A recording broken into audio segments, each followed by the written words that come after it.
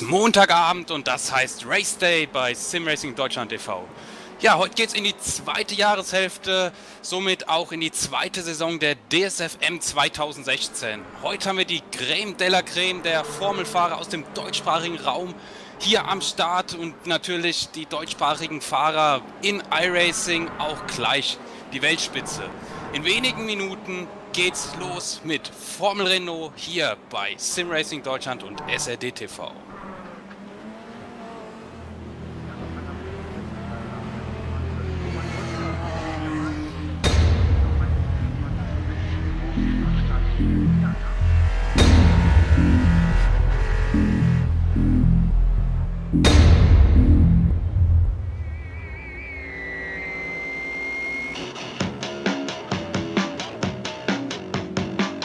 Leider abgeflogen. Wie im echten, wie im echten Leben.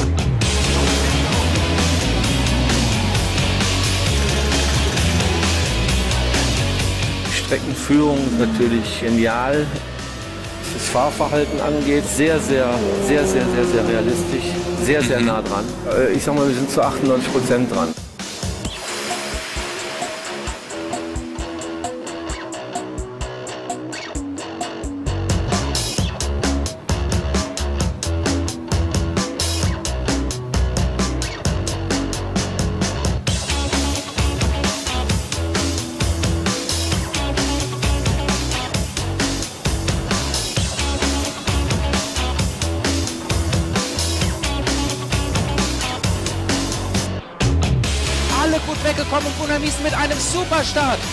Da schon ran an die beiden Vorfahrer da vorne.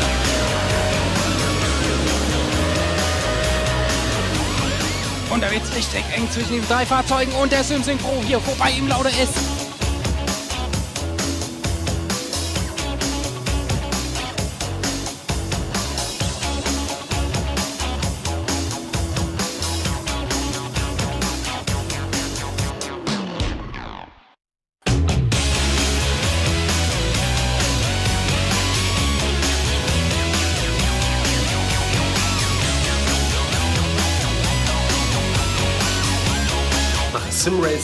zu deinem Motorsport.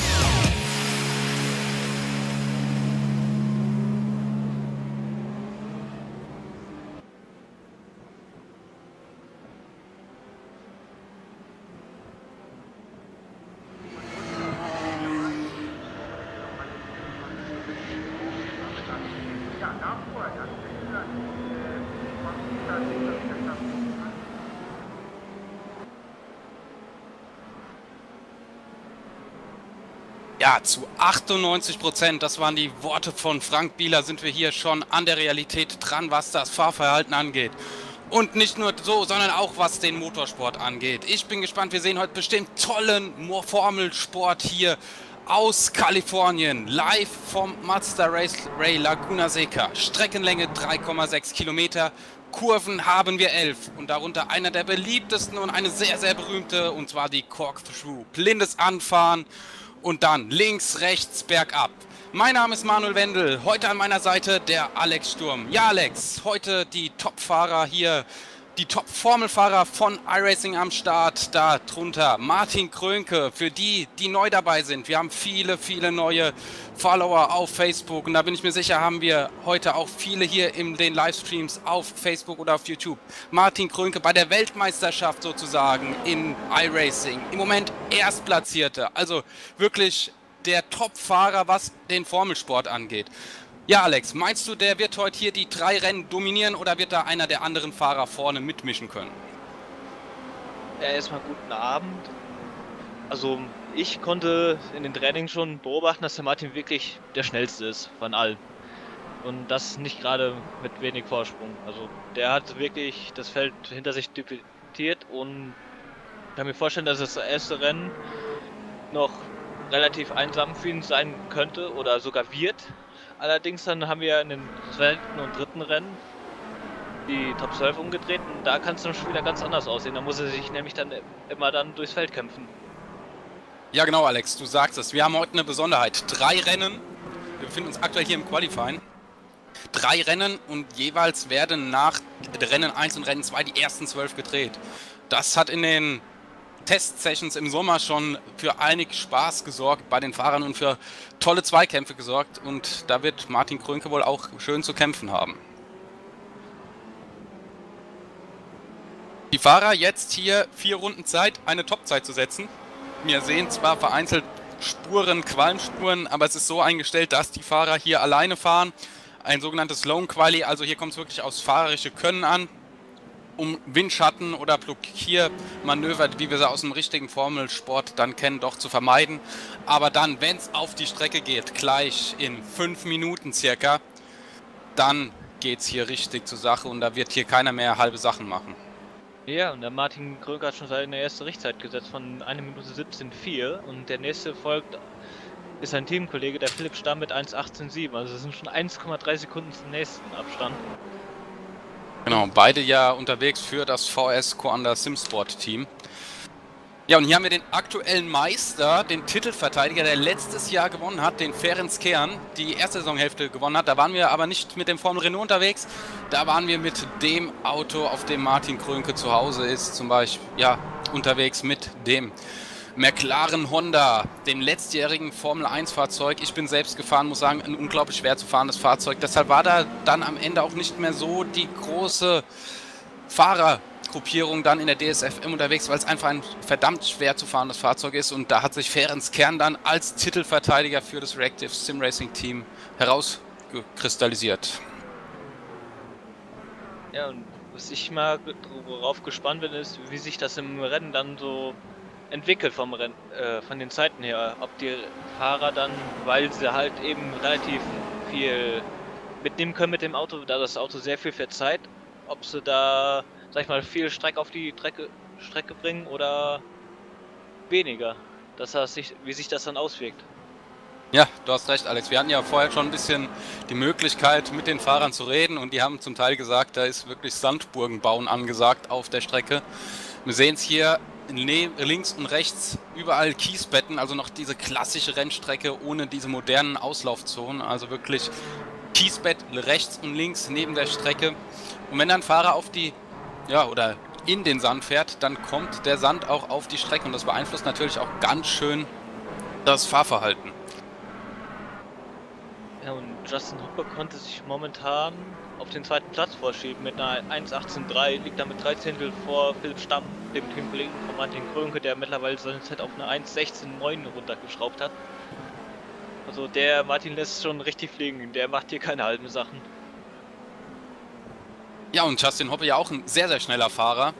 Und die werden alle hier versuchen, Martin Krönke, den Fahrer schlechthin im Formelsport schlagen zu können. Wir haben ja noch andere gute deutsche Fahrer hier, aber leider noch nicht am Start. Vielleicht kommen die dann in den nächsten Rennen dazu. Und Philipp Stamm setzt sich da jetzt vorbei an Justin Hoppe mit einer 1.18, 1.86 ein, eine Sekunde, zwei Rückstand auf Martin Krönke und setzt sich nur 0,03 Sekunden vor Justin Hoppe. Carsten Filmer im Moment auf Position 4. Der hat ja in den Sommer-Events da wirklich alles aufgeräumt, der Core Motorsports-Fahrer. Hat da ja im Formelbereich von vorne bis hinten alle Rennen gewonnen, mehr oder weniger. Und ja, da bin ich auch gespannt, was der jetzt abliefern wird. Ja, und das sind dann halt auch eben die interessanten Rennen 2 und 3, dass solche Fahrer dann, auch wenn er einmal den Grünke mitfährt, eben auch Siegchancen kriegen oder haben. Das ist halt der Vorteil, oder macht halt die ganze Sache dann so spannend mit umgedrehter Startreihenfolge in den nachfolgenden Rennen. Ja, auf jeden Fall, weil dann fährt der 12 Platzierte. Da bin ich nachher auch mal gespannt. Hier werden wir noch drei Minuten auf der Uhr haben. Während sich jetzt Carsten Filmer Position 2 setzt, da 0,018 Sekunden vor Philipp Stamm. Also ist es wirklich hauchdünn hier zwischen Platz 2 und 4. Das ist unglaublich, was da für ein Abstand ist. Und dann auch zwischen Pablo Reibach auf Position 5 und Thomas Fuß auf Position 6 und Andrea André Rajkovic auch so knapp. Und John Atkinson Jr. dieselbe Zeit, Position 7 und 8, zeitgleich. Schau dir das mal an hier in der Zeitübersicht. Ja, das Wie ist echt nah Wahnsinn. das sein wird. Auch Das- hier, Jelenowski auf Draxler, 0,001 Sekunden. Also das wird ein sehr, sehr spannendes Rennen werden. Ja, da bin ich mir sicher. Das, das, das ist halt der Vorteil von Einheitswagen. Man hat eine, da kommt es wirklich dann auf den Fahrer drauf an und eventuell noch was auf Setup. Aber da kann man halt wirklich Racing pur sehen, auch wenn es ein Formelauto ist. Das ist, hat man jetzt in dem Vorbereitungsrennen gesehen, dass es wirklich stabil gebaut ist. Da kann man sich schon wirklich Tür an Tür fahren, ohne dass er wirklich was Großes kaputt gehen kann. Ja, also nicht dieses typische Formelfahren, wo man dann den kleinsten Kontakt hat und das Auto kaputt geht. Nein, hier kann man, wie du sagtest, schon den leichten Kontakt haben und kann trotzdem noch relativ gute Zeiten fahren. Und Einheitswagen bedeutet, hier kommt es wirklich aufs fahrische Können an und dann ein bisschen auf Setup natürlich. Wie viel Sprit nehme ich mit und ja, dann heißt Setup bauen und gucken, dass man die schnellste Zeit setzt, während jetzt hier Filmer ausgehoben wird und damit die Zeit auch hin. Wird keine Zeit mehr setzen können. Eine Minute 20 noch. Wer ist noch unterwegs? Jens Matthias Hübel und Jens Weber, genau. Beide noch unterwegs. Matthias Hübel hier im Bild, bleibt stehen, bellt das Auto ab. Also Jens Weber, im Moment Position 20, noch unterwegs. Mal gucken, ob er sich noch verbessern kann.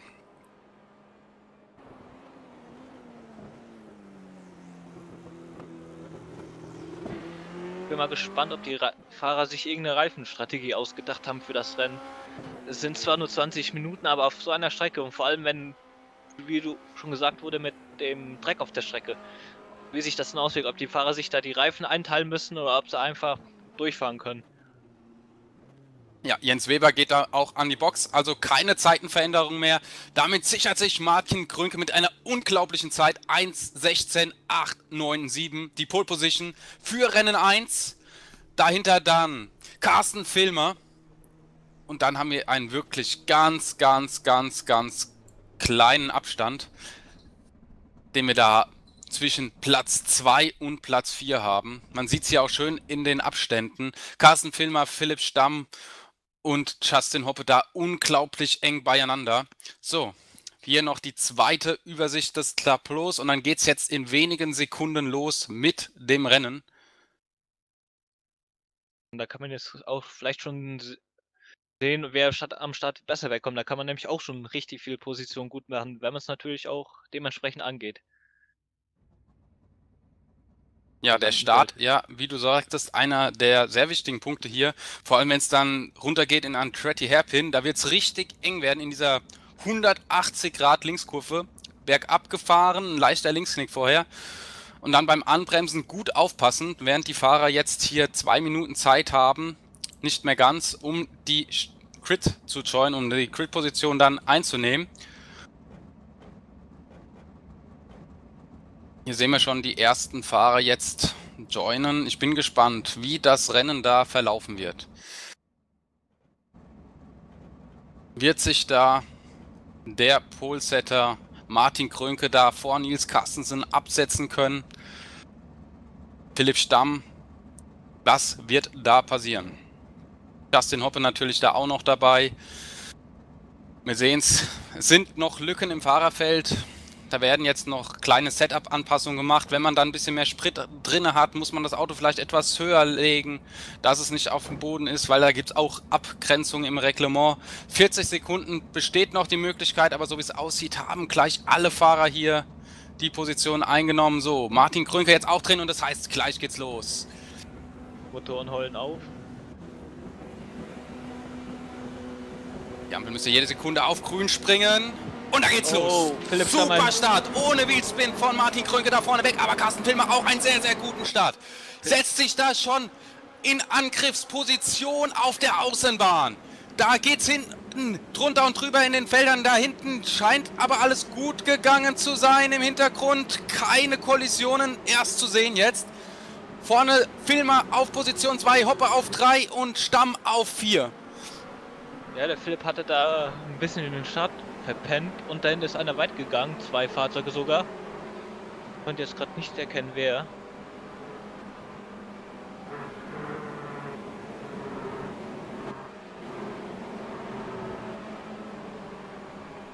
gerade im Bild Didi Traxler, ein ehemaliger Kommentatorenkollege hier bei SRD TV, mittlerweile ja wieder ein bisschen mehr unterwegs, fährt jetzt für das GRC TV Team.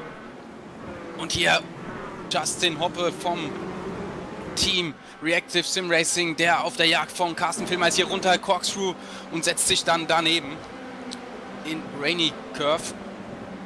Da geht's ja. hier zu zweit durch. Ja, das ist einfach geil anzusehen, muss man so sagen. Ja, da haben wir wohl nicht zu viel versprochen. Hier in der ersten Runde schon knallharter Formel-Motorsport. Während sich da Martin Krönke schon etwas absetzen kann, vorne schon eineinhalb Sekunden rausgefahren, aber dahinter, da wird es natürlich weiterhin spannend bleiben und natürlich auch in Rennen 2. Vor allem dieser Platz 12, dieser ominöse Platz 12, der nachher dann die Pole Position bedeutet. Bin ich gespannt, ob sich da jemand vielleicht sogar absichtlich zurückfallen lässt, was natürlich nicht so sportlich wäre, aber man kennt es aus dem realen Motorsport, dass da der eine oder andere doch mal sagt, mir ist Position 12 lieber, dann habe ich nachher die Pole Position. Aber nicht zu vergessen, damit fehlen auch Punkte in der Gesamtwertung. Auf jeden Fall. Und vorbeifahren ist das, oder ranfahren ist das eine und vorbeikommen ist dann auch immer das andere. Und wenn man dann als Position 12 vorne ist, kann man eventuell sich dann erstmal absetzen vom Feld, wenn man wenn der andere hinter sich nicht die ganze Pace gehen kann. Ja, Sascha Henken, ehemals, ebenfalls ein ehemaliger Kommentatorenkollege hier bei SRD TV, fährt jetzt für Gentleman Racers Club. Oh, John Atkinson, oh. Leicht, leichter Quersteher, konnte das Auto aber noch fangen in der Corkscrew.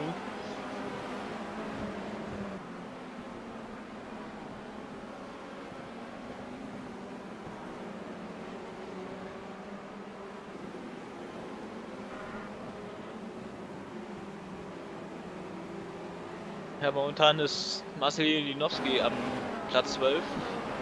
Direkt dahinter allerdings der Sascha Henken. Ja, und Christopher Dittmann war unterwegs, aber wir haben keinen Zeitabstand. Der war er eben kurz neben Pavel Rybak. Und Ferenc Kern an der Box. Ferenc Kern an der Box. Da muss es einen Vorfall gegeben haben. Ja, scheint so, als hätte es da irgendeinen Vorfall gegeben. Ist erstmal raus aus dem Rennen. Schade, schade, schade für den Titelverteidiger. Frühes Aus hier nach schon vier Minuten aus dem Rennen rausgeflogen. Hat aber natürlich jetzt noch die Chance, in Rennen 2 und Rennen 3 Punkte für die Meisterschaft zu sammeln. Während wir hier ein schönes Manöver von Christopher Dittmann sehen, der sich da jetzt auch verteidigen muss. Jetzt geht es hier zu viert auf die Corkscrew zu blindes Anfahren ist es hier. Wirklich blind und dann frühes Einlenken. Dann hier unter der Brücke durch. Pavel Rübak schaut mal kurz beim André Rajkovic rein. Oder lugt mal so rein. Aber kann nicht wirklich sich daneben setzen. Jetzt auch in der letzten Kurve kommt er wieder ran beim Bremsen. Also da kann, kann man wirklich sehen, wie unterschiedlich die Autos abgestimmt sind. Da kann man wirklich viel mit den Dämpfern mitarbeiten, dass da sich wirklich die Bremsballons oder Bremsverhalten verbessert oder sogar Kurven, Curbs, je nachdem wie man die mitnimmt. Also das Auto ist echt vielseitig. Oh, Dreher hier von ähm, André Rajkovic. Dreht sich da raus beim Rausbeschleunigen.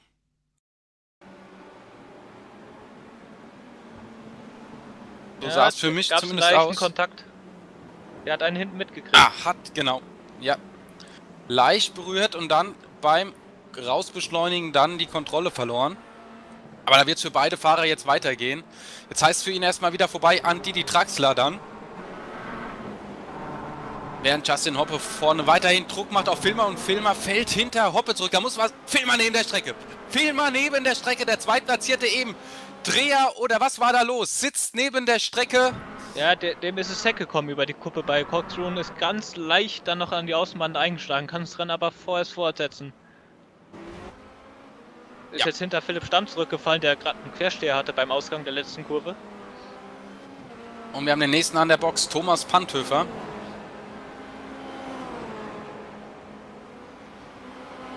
Ja, also die Corkscrew, eine sehr, sehr schwer zu fahrende Kurve. Aber gerade deshalb macht es auch Spaß. Ist ja auch eine sehr, sehr beliebte Strecke hier im Motorradsport. Und da ist diese Corkscrew auch eine sehr, sehr beliebte Strecke. Und Martin Krönke nimmt da jeden Zentimeter mit, geht auf die Curbs und wirbelt den Sand auf. Den Sand aus Kalifornien. Jetzt mal Fahrt mit Martin Krönke mit. Jetzt geht es hier hoch auf diese berühmte Corkscrew. Wir sehen es blind. Da ist der Anbremspunkt blind zu sehen. Dann geht es jetzt links runter und dann fällt man in dieses Loch rein. Und dann geht es in diese schön zu fahrende, also ich fahre diese unglaublich gern, diese Rainy Curve. Und dann geht es in Turn 10. Viel Schwung mitnehmen. Dann in diese langsame, langsame Kurve, Turn 11. Wobei langsam 90 km/h relativ ist und dann viel Schwung mit auf die lange Gerade runter dann zu Andretti Hairpin. Ja, und Justin Hoppe vom Reactive Sim Racing Team auf Position 2 im Moment vor Philipp Stamm. Also befindet sich da im VS Conda Sim Sport Sandwich. Aber hat auch schon einen kleinen ja, Sicherheitsabstand rausgefahren auf Philipp Stamm. So würde ich das mal nennen, aber wir haben es gesehen, das geht ruckzuck und dann fällst du da 1, 2 Positionen zurück. Und er ist im Moment auch der zweitschnellste im Feld, der Justin Hoppe. Wenn man die letzte Umrundung ansieht, Krönke 1.17.018, aber ich glaube, den nehmen wir jetzt erstmal raus aus der Konkurrenz. Der wird da vorne jetzt erstmal sein Rennen zu Ende fahren, sollte da kein Fehler passieren. Dann Justin Hopper an der 1.18.333 oh, und Philipp Stamm in der letzten langsam. Umdrehung. Wird jetzt gerade überholt. Da scheint wohl irgendwas vorgefallen zu sein. Ist jetzt nur noch 12 da, hat in einer Runde mal mindestens zwei Positionen verloren.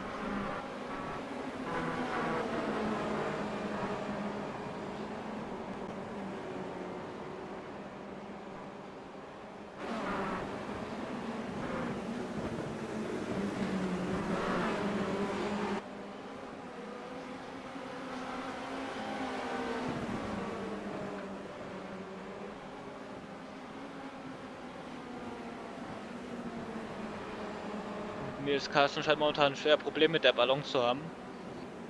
Von seinem Fahrzeug.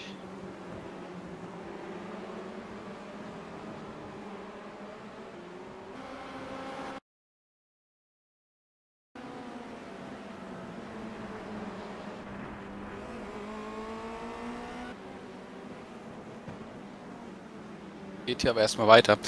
Ja, wir haben ja vor kurzem das neue Video, wir haben es vorhin gesehen, das was ist Simracing Video gepostet auf Facebook, mittlerweile fast 15.000 Mal angeguckt und viele, viele neue ja, Follower auf Facebook und davon wird sich bestimmt auch der ein oder andere in den Stream jetzt hier befinden, in der Übertragung. Sollten Fragen auftauchen zu Simracing etc., zu dem, was wir hier machen, einfach stellen, egal ob auf Facebook oder auf YouTube. Wir werden gelegentlich da reingucken und dann die Fragen auch beantworten. Ansonsten wird auch der ein oder andere im Livestream dann natürlich gerne sofort was beantworten. Wir haben hier sehr, sehr kompetente Zuschauer immer. Selbst viele Fahrer, die da sehr gerne zugucken. Jetzt aber wieder zurück zum Renngeschehen hier mit Nils Carstensen unterwegs.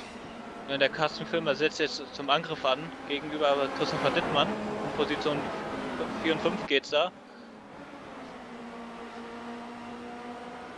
Konnte da auf der Geraden die Position gut machen. Da hatte er wahrscheinlich einen kleinen Topspeed-Vorteil.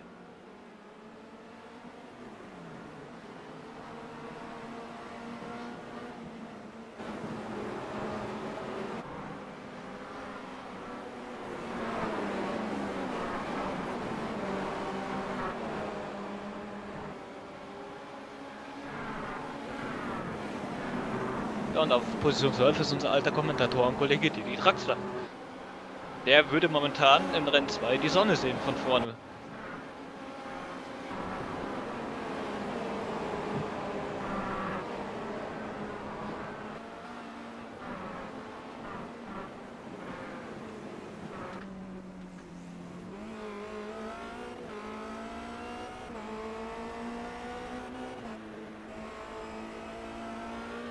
Ja, es kam die Frage, wo fährt man im Vergleich, wenn man ja, von Assetto Corsa zu iRacing übergeht?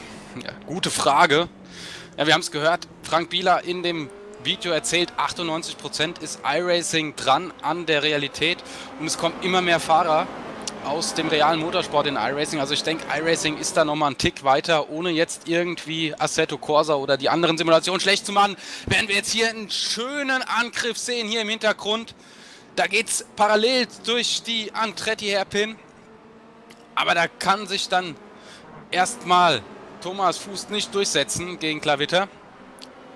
Ja, und Klavitter versucht jetzt im Konter oder sich überhaupt an den Marcel Jelinowski vorbeizusetzen. Geht um Position 8 und 7 da. Ja, da habe ich die zwei gerade verwechselt. Natürlich Klavitter, der hinten ist. Aber der Thomas bleibt an Schlagdistanz. Der könnte vielleicht der lachende Dritte sein, wenn die sich davor nicht uneinig werden.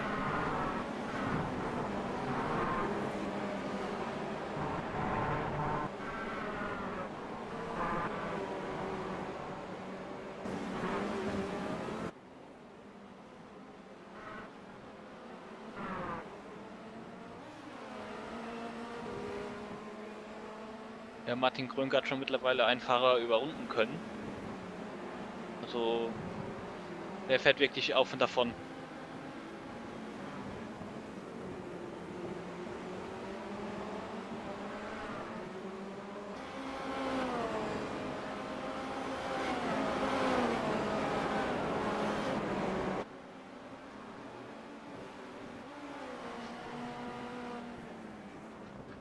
Oh, und da, Da gibt's den Kontakt. Da gibt's den Ei, Kontakt. Puiuiuiui.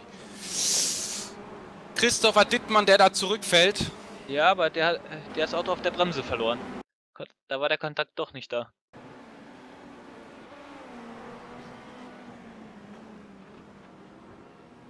Dann war es gut reagiert von den Fahrern da hinten. Sah im ersten Moment so aus, als gab es da den Kontakt. Natürlich nicht so einfach immer zu erkennen hier aus der Kommentatorenperspektive. Ja, und Martin Krönke dreht da einfach einsam seine Runden. 12 Sekunden mittlerweile schon der Vorsprung auf Justin Hoppe. Ja, und fährt weiterhin gerade seine schnellste Rennrunde. 1.16.607, also setzt da nochmal was drauf im Vergleich zu seiner Qualifikationsrunde. Im Vergleich dazu Hoppe jetzt mit einer 1.18.158. Ja, wovon die Fahrer ja auch berichtet haben, ist mit dem Reifen, weil werden die, die Reifen besitzen ja keine Reifenwärmer, sondern werden dann wirklich nur per Lenkradbewegung auf der Strecke warm gefahren. Und das dauert wohl seine 4-5 Runden und wenn dann die Reifen nicht im Qualifying schnell genug warm werden, kannst du natürlich nicht die optimale Zeit setzen. Da kann es sein, dass die Fahrer jetzt manchmal im Rennen, wenn der Sprit weniger wird und die Reifen dann wirklich auf richtige Temper Betriebstemperatur sind, dann erst die wirklich schnellen Runden fahren.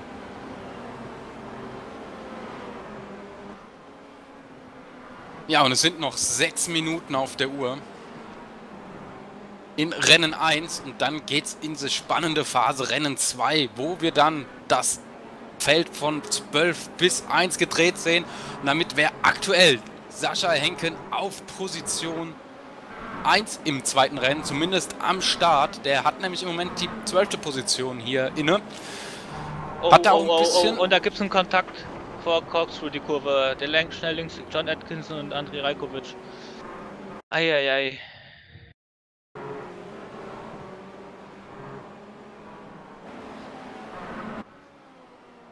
Ja, vom André das Auto funktioniert nicht mehr ganz richtig. Uiuiui, da hebt es ihn aus. Ja, da wollten sie parallel durch. Das geht hier auch. Also man kann hier die Kurve auch parallel Oh, und durchfahren. danach gibt es nochmal einen Kontakt. Eieiei. Mit dem Nils Carstensen.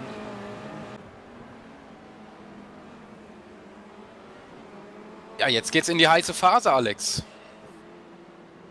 Jetzt werden nochmal die Positionen ausgefahren. Ja, aber das war. Boah, war- heftiger Kontakt. Das war ein Missverständnis da.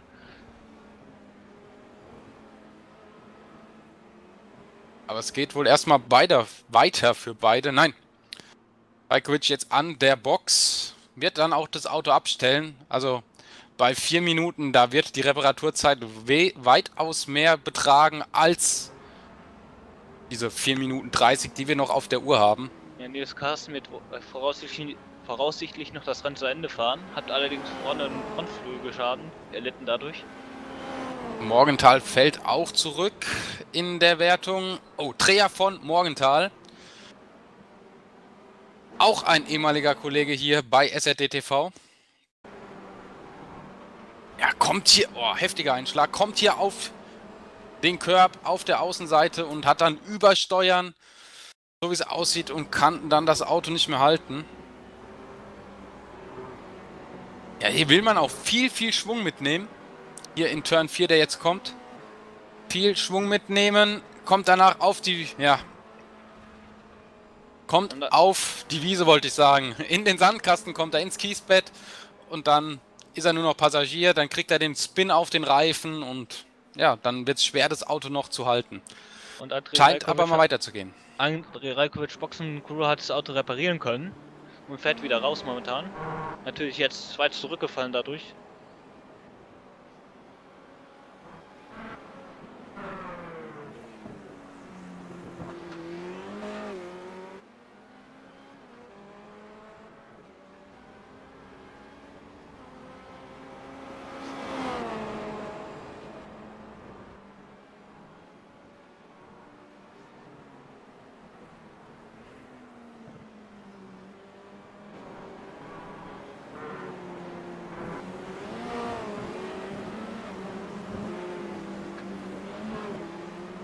Ja, Alex, wir gehen jetzt wirklich hier in die letzten Runden in Rennen Nummer 1. Wenn sich Martin Krönke da vorne ja, den Start-Zielsieg sichern wird. Justin Hoppe da auf Position 2 im Moment im Sandwich dann der VS Corner Simsport Jungs. Philipp Stamm nämlich auf Position 3. Carsten Filmer, der gut Position war, positioniert war, der Heuskenfeld Core Motorsports Fahrer. Im Moment auf Position 4 scheint er auch etwas ja, Vorsprung rausgefahren zu haben auf Marcel Jelenowski. Also wenn das Ganze jetzt ohne große Vorfälle so zu Ende geht, werden die ersten sechs Plätze ausgefahren sein. Aber der spannende zwölfte Platz, der im Moment Didi Draxler gehört, ist da noch nicht ganz sicher. Wir sehen es, die ein oder anderen drehen sich hier doch nochmal, wenn wir jetzt wirklich in die letzten zwei Minuten des ersten Rennens gehen. Und da kann nochmal viel, viel passieren. Ja, der Martin Krönke müsste jetzt in seine letzte Runde auch gehen.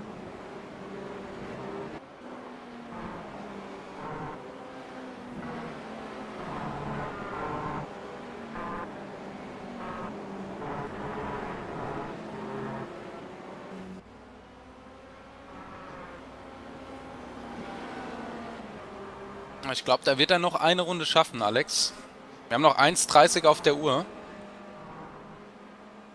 Wenn man so sieht, er fährt 1,17er Zeit im Moment, also eine Sekunde schneller als seine Verfolger.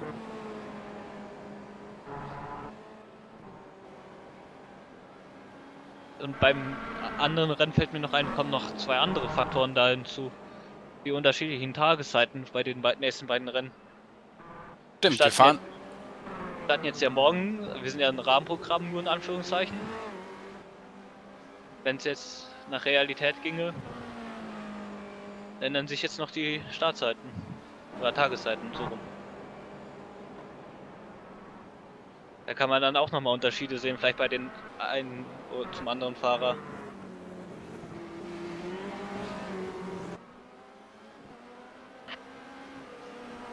Ja, und dann werden die gedrehten Fahrer sich da durchs Feld fliegen müssen. Es ist auch gar nicht so einfach. Sowohl... Oh, oh, oh, oh, oh! Philipp Stamm schmeißt da fast noch das Auto eben weg. In der Corkscrew kann es da gerade noch abfangen. Heieiei, das so kurz vor dem Ende. Ja, Martin Krönke könnte jetzt eigentlich fast auf die Bremse treten und dann ins Ziel rollen und wird trotzdem noch gewinnen. Die Zeit runterlaufen lassen, aber das Atkinson macht er natürlich nicht. Versuch's nochmal gegen Rüback. Beide fast nebeneinander in der Corkscrew. John Atkinson muss aber Rüback ziehen lassen und Dittmann schmeißt es weg. Kannst aber Auto ohne Einschlagen noch fangen. Verliert jetzt allerdings Position an Rüback. Und Atkinson hat das Auto auch weggeschmissen. Eieiei.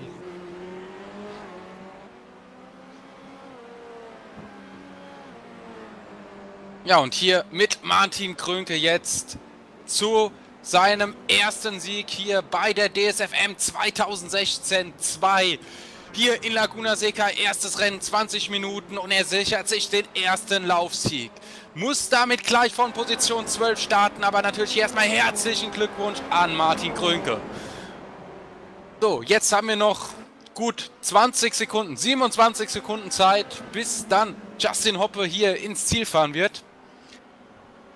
Ja. Da ist aber auch schon jetzt nur noch einmal den Linksknick und dann der Fahrer von Reactive Sim Racing auf Position 2. Herzlichen Glückwunsch hier auch von meiner Seite an Justin Hoppe für den zweiten Platz. Da hinten sehen wir auch schon Philipp Stamm um die Ecke biegen.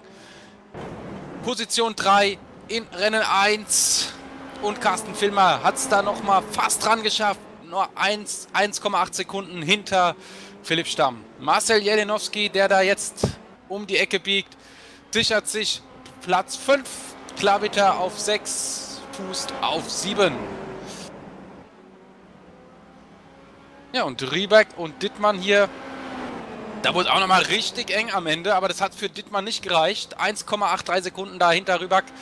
Da ging es um Position 8. Sascha Henken auf 10. John Atkinson Jr. auf Nummer 11. Ja, und Tridi Traxler sichert sich mit Position 12 ja, den ersten Platz in Rennen 2 in der Crit-Position. Klaus Förding auf 13. Nils Carstensen auf 14, Morgenthal auf 15, Weber auf 16, Rajkovic auf 17, Hübel auf 18.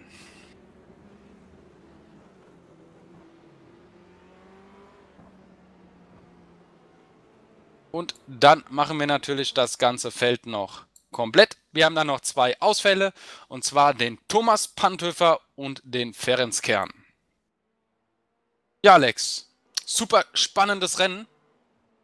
Ja, auf Hier. jeden Fall. toller Formelsport. Ich bin gespannt. Jetzt geht erst richtig los, würde ich mal sagen. Jetzt sehen wir gleich dann, was die Jungs so abliefern. Da geht es jetzt um die Wurst in Rennen Nummer 2. Wenn dann die schnellen Fahrer sich durch das Fahrerfeld flügen müssen. Und ich bin mal gespannt, ob da Didi Traxler die Nerven behalten kann oder ob der John Atkinson Jr. bzw. der Sascha Henken da gleich Druck ausüben können auf Didi Traxler, der, wie er vorhin gesagt hat, schon mehrere Jahre nicht mehr wirklich aktiv Rennen gefahren ist. Ja, kann man, ich weiß nicht, ob das Fahrer gemacht haben, ähm, positionsspezifische Setups. Da, ob man mehr im Verkehr fährt oder mehr vorne weg fährt. In die, halt von den Flügeleinstellungen, von den Reifendrücken eventuell, dass die da mehr beansprucht werden können. Ja, das ist ein Geheimnis der Teams, würde ich mal sagen, so wie auch im realen Motorsport. Aber natürlich ein interessante, ja, ein interessanter Faktor, ob da wirklich an den Setups auch ein bisschen geschraubt wird. Ja, Martin Krönke setzt da noch in Runde 10. Wir haben es gesehen, die schnellste Rennrunde 1.16.607.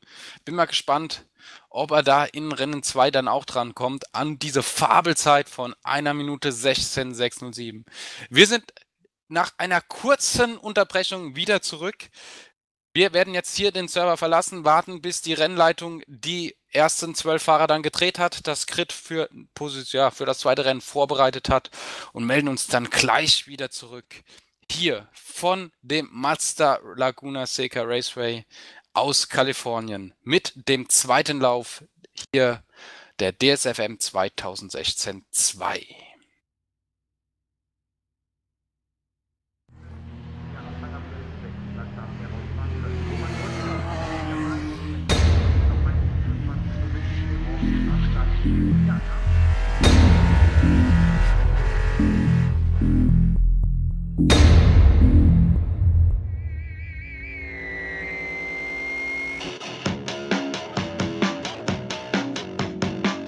leider abgeflogen.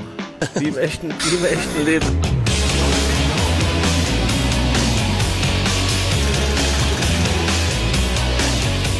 Streckenführung ist natürlich genial. Was das Fahrverhalten angeht, sehr, sehr, sehr, sehr, sehr, sehr realistisch. Sehr, sehr nah dran. Äh, Ich sag mal, wir sind zu 98 Prozent dran.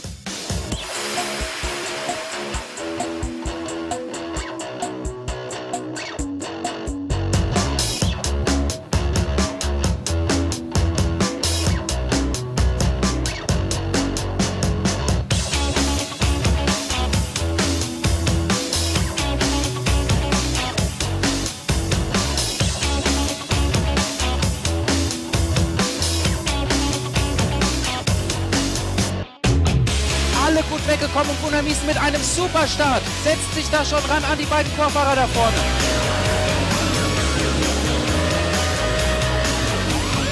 Und da wird es richtig eng zwischen den drei Fahrzeugen und der Simsync Pro hier vorbei im Laude S.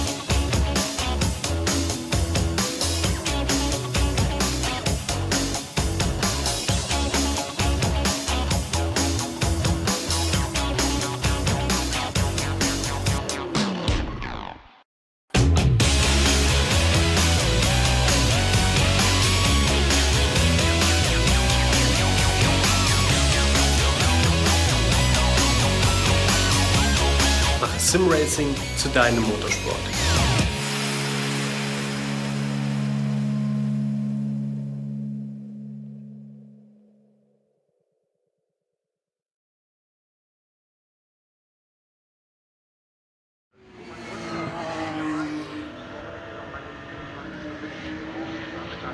Ja,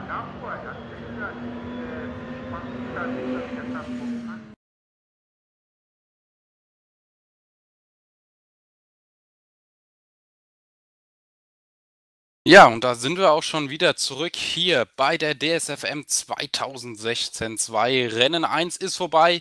Wir warten noch auf den Server für Rennen 2.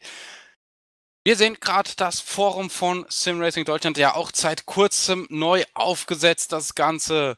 Wenn ihr Lust habt mitzufahren, wenn Sie Lust mit haben mitzufahren, den Fahrern hier Konkurrenz liefern, sagen, ich bin doch schneller als die, die da mitfahren dann kommt auf den ins Forum, meldet euch an, meldet sie sich an und dann werdet ein Teil von Simracing Deutschland e.V. und zeigt, was ihr drauf habt.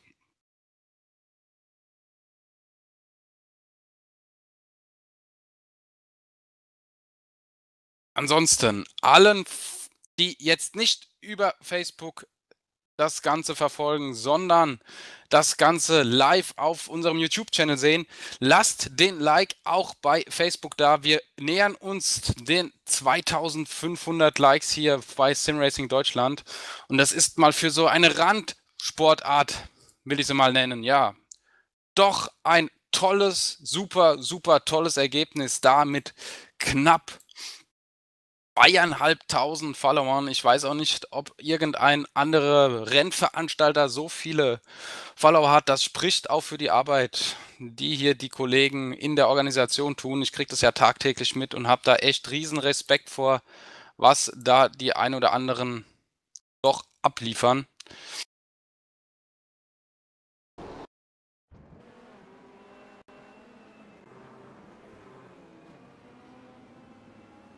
Und da sehen wir auch schon die ersten Live-Bilder von dem Server, der für Rennen 2 dann zur Verfügung steht.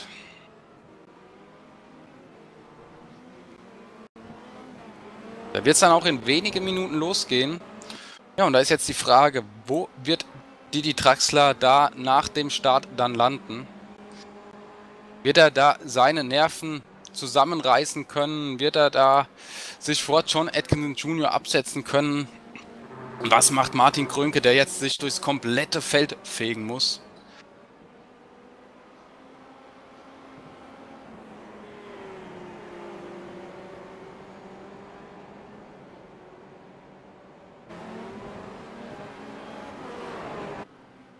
Sechs Minuten haben jetzt die Fahrer Zeit, hier sich für Rennen 2 vorzubereiten.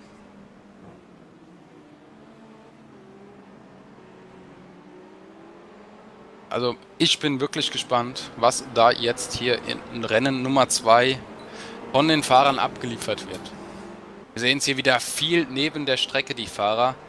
Da wird wieder jeder Zentimeter ausgenutzt, um da irgendwie Zeit gut zu machen. Ist natürlich jetzt nicht mehr so relevant, aber natürlich nachher fürs Rennen kann man da noch ein bisschen was üben.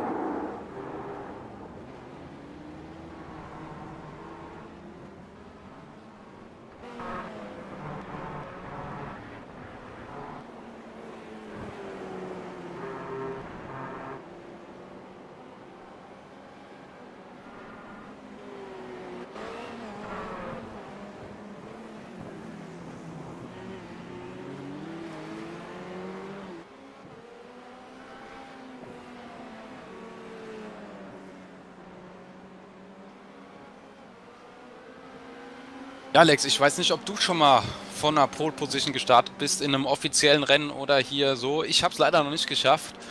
Aber als ich dann schon mal weiter vorne war in einem offiziellen Rennen, für die, die neu dabei sind, offizielles Rennen heißt von iRacing organisierte Rennserie, nicht wie von SimRacing Deutschland. Das sind keine offiziellen in der Umgangssprache der iRacer, sondern das sind private Ligen. Ja, in so einem offiziellen Rennen lag ich dann schon auf der Nordschleife auf Position 2 und habe dann mir so in die Hose gemacht und bin dann erstmal abgeflogen. Ja, was denkst du? Wie wird da Didi Traxler mit umgehen können, wenn er so lange nicht mehr gefahren ist? Ich denke, er wird es behutsam angehen lassen. Er wird nicht so viel riskieren, aber er wird, denke ich, versuchen, vorne zu bleiben.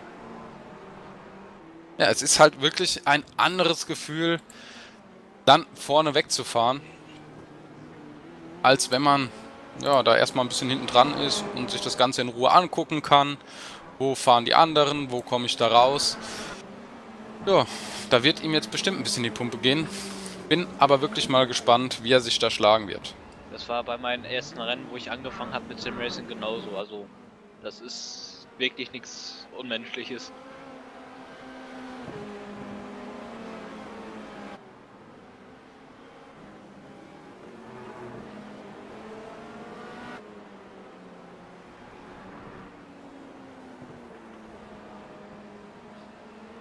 Ja, vielleicht schafft er es auch, sich da vorne wirklich ein paar Runden zu halten, indem er einfach fair und sauber seine Kampflinie fährt. Und wir dann ja, ein schön enges Feld dadurch sehen. Ist ja nichts Schlimmes, also die Fahrer hier sind allesamt schnell. Also wenn man sich das mal anguckt, was wir hier eine Dichte haben. Ich weiß nicht, wann wir das letzte Mal so eine Dichte in einem Rennen hatten, wie jetzt auch in der Qualifikation. Wenn jetzt der Reactive Sim Racing Fahrer etwas weit geht, und zwar fair ins Kern. Da erstmal in der Atretti Hairpin das Auto ein bisschen nach außen manövriert. Ja, also wir haben es im Quali gesehen, da geht es wirklich hauchdünn zwischen den Positionen zur Sache und wir haben es auch im Rennen gesehen, da kommt es auf die Nuancen an.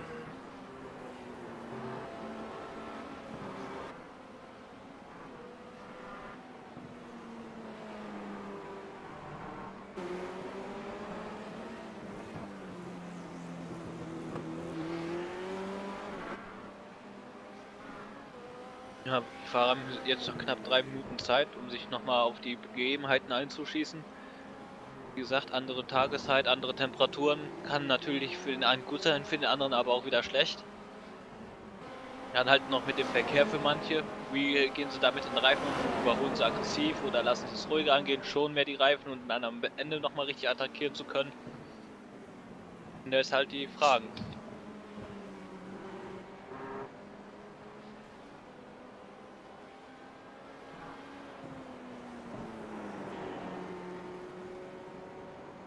Ja, und was wird da Datin intern auch abgesprochen? Ich denke, da wird jetzt auch nochmal gerätselt, kann man den einen Liter mehr mitnehmen, kann man den anderen Liter weniger mitnehmen, oder vielleicht auch noch ein oder zwei Zehntel rauszuholen, was dann ja auch im Windschatten gar nicht so zu unterschätzen ist. Wir haben hier nicht wie bei der Formel 1 das DRS oder sonstiges CARES, was ja auch jetzt in dem Formel Honda dann genutzt werden kann, in dem McLaren Honda, in dem Formelfahrzeug was auch sehr, sehr gut umgesetzt ist, meines Erachtens. Auch vom Fahrerischen, da sieht man erstmal, was ein Formel-1-Fahrer leisten muss. Das haben wir hier alles nicht, sondern hier geht es wirklich um die Manpower. Wenn wir hier wieder mehrere Fahrer neben der Strecke sehen, hier wieder ein Fahrer von Reactive Sim Racing in Form von Justin Hoppe war das.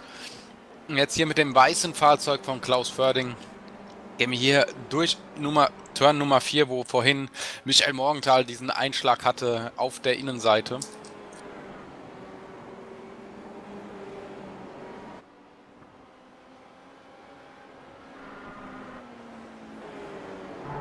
Ja, noch 30 Sekunden, dann heißt es wieder für die Fahrer Setup vorbereiten und fertig machen für Rennen Nummer 2. Und dann wird es sehr, sehr spannend. Wie schlagen sich die Fahrer da in Rennen Nummer 2, wo wir dann das gedrehte Starterfeld haben?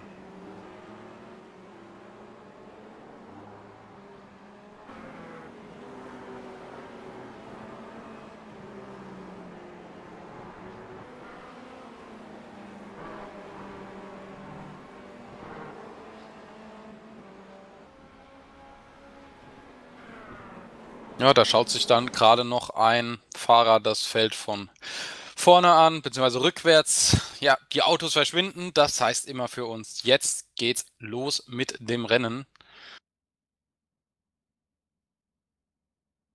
Hier nochmal eine schöne Aufnahme von der Cork-Through. Man sieht gar nicht oder man, man, man, nimmt gar nicht wahr, wie man hier runterfällt. Man muss dann wirklich mal auch in iRacing das Ganze gefahren sein. Und dann kann ich mir nur vorstellen oder kann man nur erahnen, wie das ist, wenn man nachher in der Realität so eine Strecke fährt, wo man dann so einen Höhenunterschied hat und einfach in so ein Riesenloch reinfällt. Das muss unglaublich sein, dieses Gefühl, wenn du dann da runter sackst, diese Links-Rechts-Kombination, sagenhaft. Ja, und da sehen wir auch schon das ganze Starterfeld vorne. Also dürfte es jetzt auch jede Sekunde losgehen.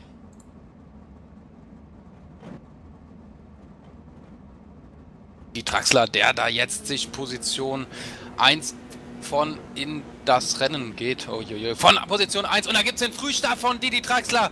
Oh, oh, oh, Frühstart, da hat ihn die Nerven verlassen. Was jetzt nicht Schlimmes ist. Und da verliert er jetzt oh. erstmal natürlich weit. Hält er alles auf. Frühstart hier und dann gibt es hinten einen heftigen Crash. Da sind mehrere Autos verwickelt. Sehr, sehr viele Autos da hinten schon abgeflogen. Aber da scheinen die ersten zwölf erstmal gut durchgekommen zu sein.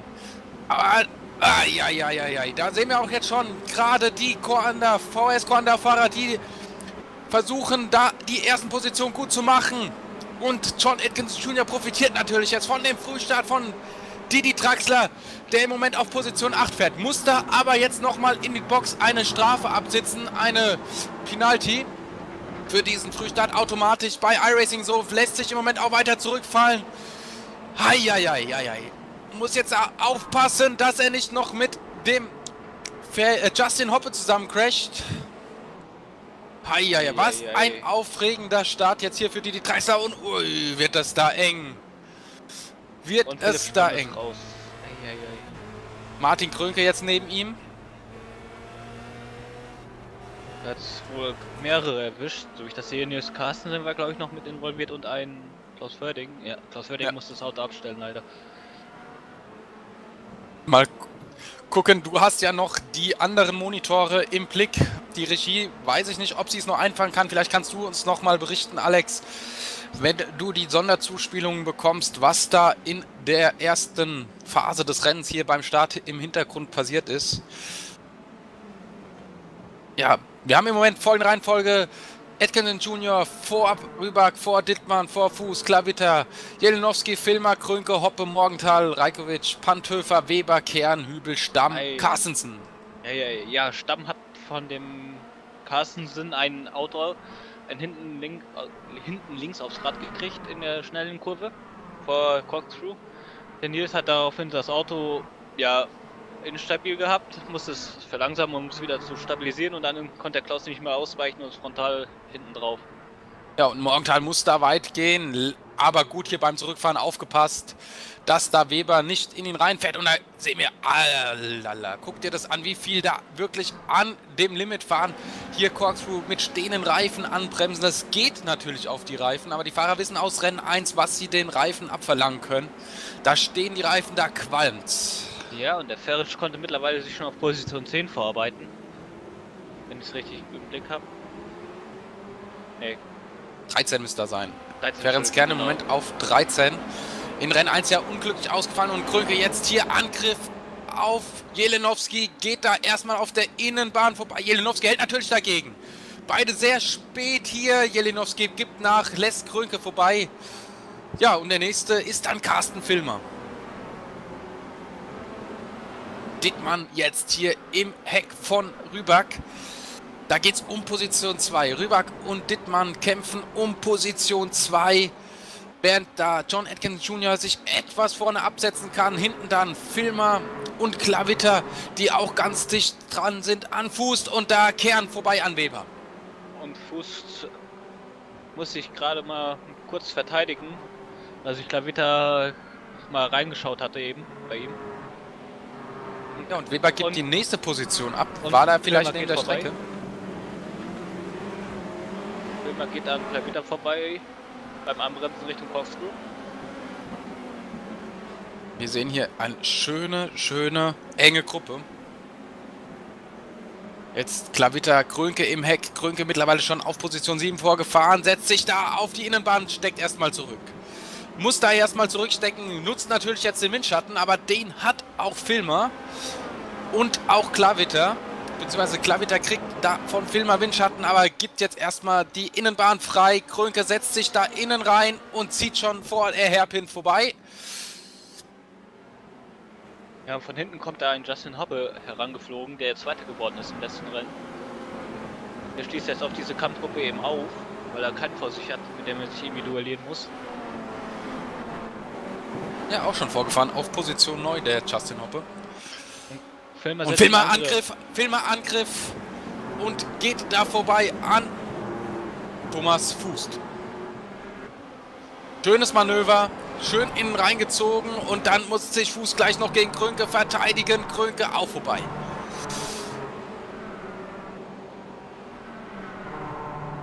Und der nächste, ah ja, ja, da verliert aber gerade richtig.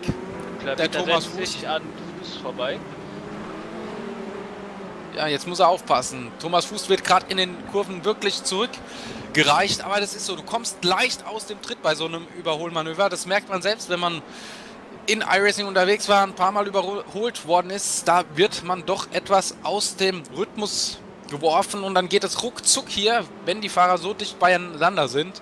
Ja, und Jelinowski will jetzt natürlich da auch noch ganz schnell vorbei, aber hat da ein bisschen Abstand. Und John Atkinson Jr. hat wieder ein bisschen verloren. Rüber kommt da näher ran. Sind sie auch spät auf der Bremse. Und Filmer gegen Krönke oder Krönke gegen Filmer. Das wird jetzt momentan das Duell der Giganten, wenn man so sagen darf.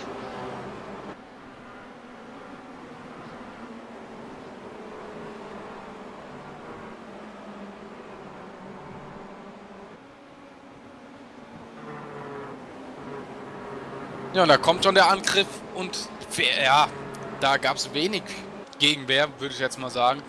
Hätte ich jetzt von Filmer ein bisschen mehr erwartet, aber der wird natürlich auch ein bisschen mit Kopf fahren. Ja, ein sehr intelligenter Fahrer, wie die meisten hier. Man fährt ja nicht nur schnell, sondern man muss auch intelligent fahren.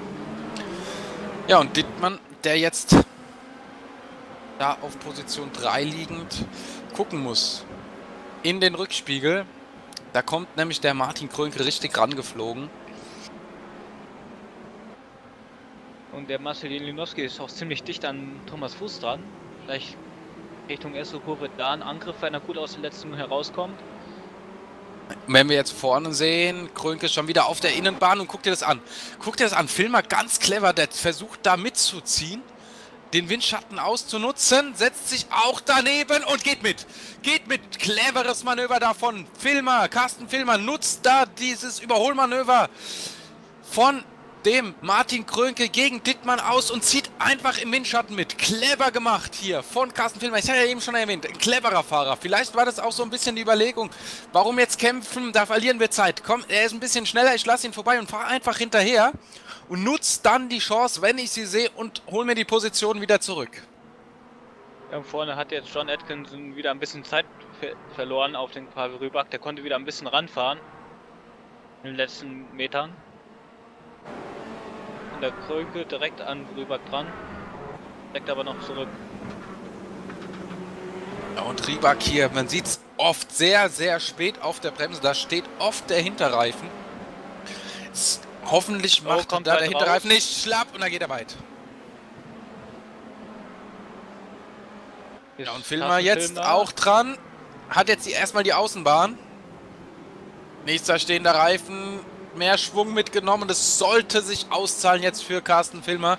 Der wird da, denke ich, jetzt durch den Windschatten vorbeigehen können. Natürlich jetzt erstmal Kampflinie hier von Rüback, der die Innenbahn zumacht. Filmer auf der Außenbahn. Reicht nicht.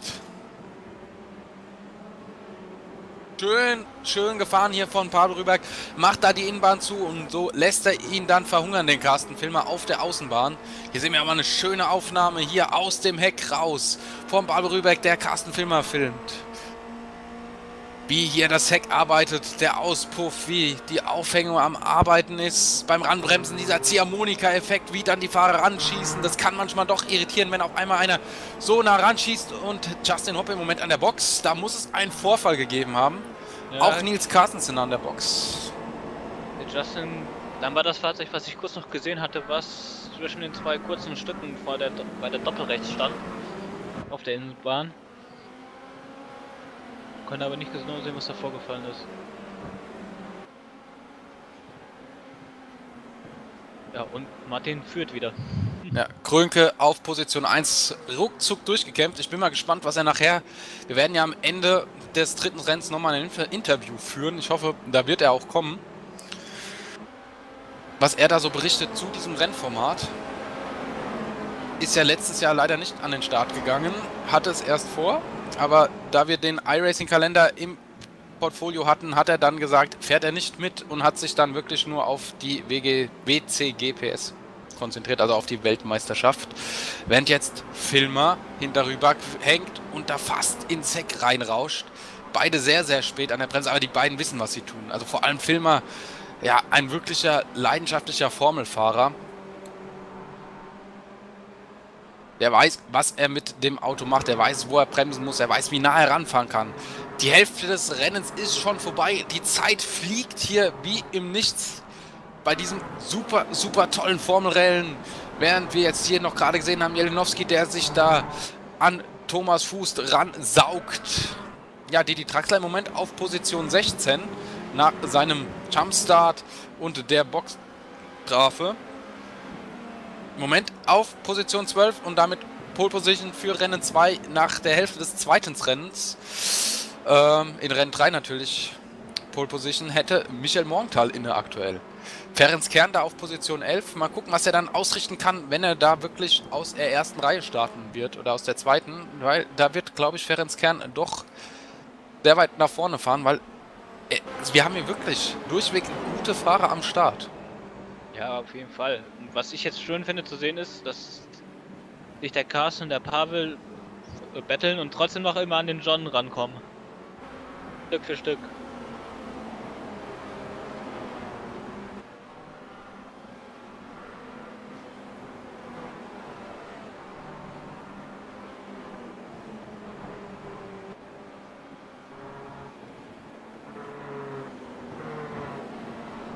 Und Jelinowski probiert es bei Fuß und geht vorbei. Spätes Manöver, sauber aber durchgeführt, nichts zu meckern.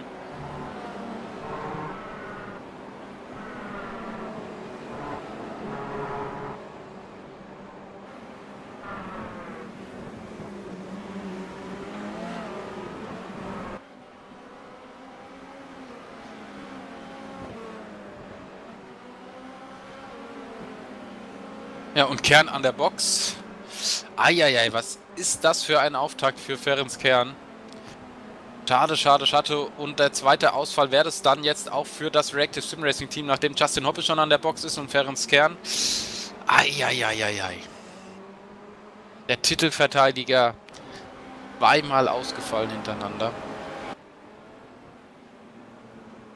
bisschen so ihren Spaß unter Teamkollegen haben momentan Matthias Hübel und Jens Weber, auch Position 14 und 15, tauschen da immer mal wieder die Position und haben ihren Spaß.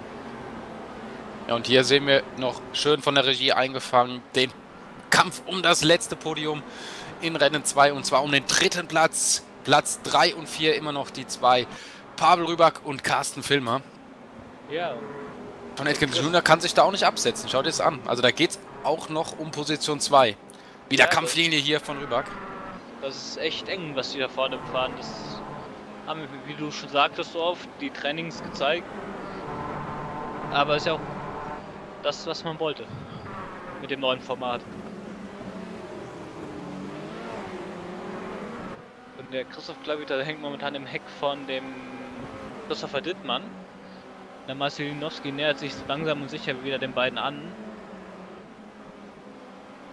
Der Koma-Fahrer da, Klavitter hängt Dittmann da wirklich im Heck. Und sein Teamkollege auf Position 3 muss sich da auch noch verteidigen und wird immer noch das Auge nach vorne haben, dass er da an John Atkinson Jr. vorbeigeht.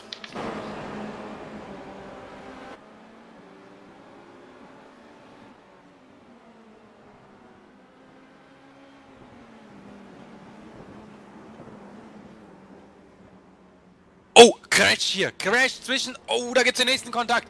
Carsten Filmer und Pavel Rüberg sind da kollidiert. Ja, da haben sich beide nicht genug Platz gelassen und sind dann aneinander geraten.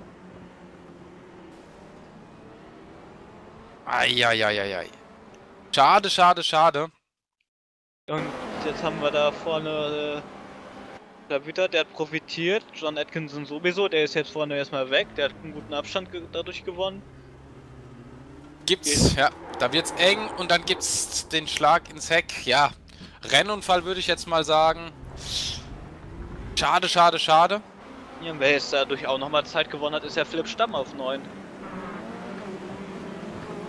Der, der, Ja. der am Anfang den Ausritten, der konnte jetzt dadurch, dass sich da alle aufgehalten haben gegenseitig, nochmal wirklich Zeit gut machen.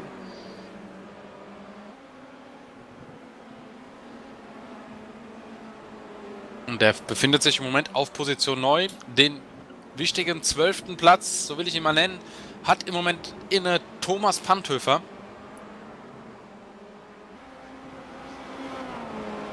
Hat da auch einen guten Puffer nach hinten und nach vorne. Also da sollte es jetzt reichen, um da nach vorne oder sich die Pole Position fürs dritte Rennen dann zu sichern.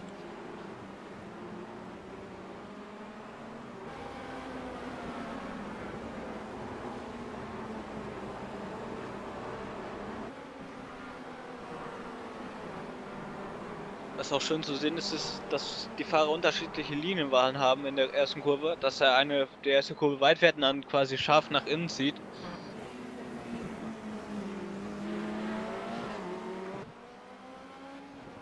Ja, Alex und der Martin Krönke wieder vorne. Ich habe es ja schon zum Eingang der Übertragung hier gesagt. Martin Krönke, da wird es wirklich schwer, an ihm vorbeizufahren. Ich hoffe aber trotzdem, dass er da weiterhin mitfahren wird hier in der DSFM. So ein bisschen Abwechslung wird doch gar nicht so übel sein. Ich bin mal gespannt, was er nachher berichtet und ob er da auch dabei bleibt. Vielleicht lockt es den ein oder anderen Fahrer hier noch in die DSFM. Wir haben ja noch ein paar gute, gute Fahrer hier in iRacing, sehr, sehr gute Fahrer, die da eventuell auch gute Konkurrenz dem Martin Krönke machen können. Ja, und aktuell haben wir seinen Teamkollegen im Kampf mit Carsten Filmer, dem Philipp Stamm, und der geht in der letzten Kurve an ihm vorbei. Philipp Stamm damit nun auf 8. Ja, und kann sich da auch gleich absetzen. Da wird Filmer bestimmt auch einen relativ kleinen Schaden von getragen haben und damit auch nicht mehr die optimale Aerodynamik haben. Ja, Ja, die haben ja äh, vorne schönes hat ja noch ein zweites Team. Mit dem Rocco Baron, glaube ich. Genau. Aber der ist heute nicht am Start.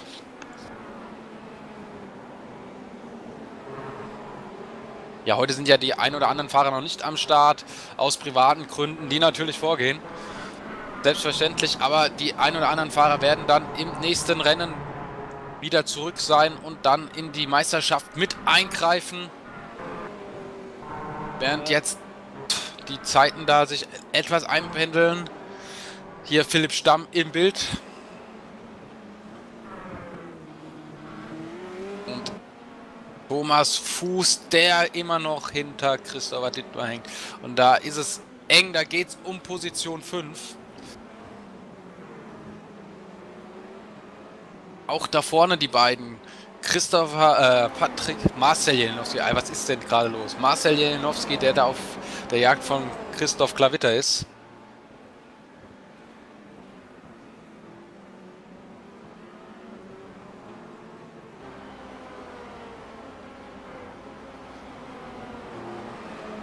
Ja, und Thomas versucht es immer noch an dem Christopher Dittmann.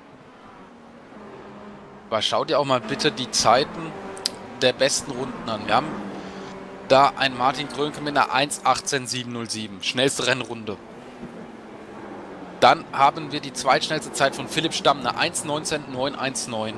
Und dann fangen die ganzen Fahrer an 1.20. Also, da ist schon ein Abstand im Rennen. Aber dahinter ist dann wirklich kaum ein Unterschied. Wir haben viele, viele Fahrer, die eine Zeit von 1,20 im Moment auf dem Tableau auf schnellste Runde haben. Das ist sehr, sehr vielversprechend für die kommenden Rennen in der Saison. Wir haben ja noch einige tolle Strecken hier Dann im Rennkalender werden wir auch eine tolle Aufnahme hier sehen, während hier eine Überrundung stattgefunden hat.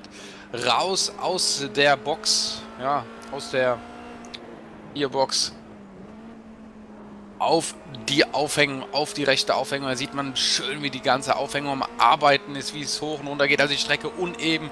Und das merkt man natürlich auch zum Teil im Lenkrad. Jetzt geht es im Windschatten ran. Oh, da wird die, oh, da wird's richtig eng. Uiuiui. Oh, heftiger Einschlag. Da gibt es den Überschlag. Da gab es, so sah es aus, wirklich den Überschlag von Christopher Dittmann. Ja, und jetzt muss der Thomas sich gegen den Philipp verteidigen.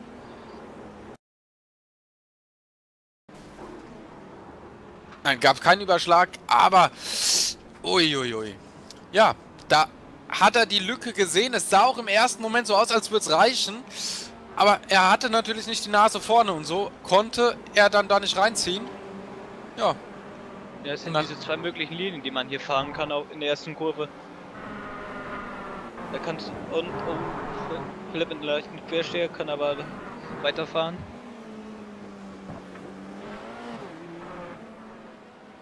Ja, wir sind nämlich schon in der letzten Runde mittlerweile. Die Zeit ist oben abgelaufen.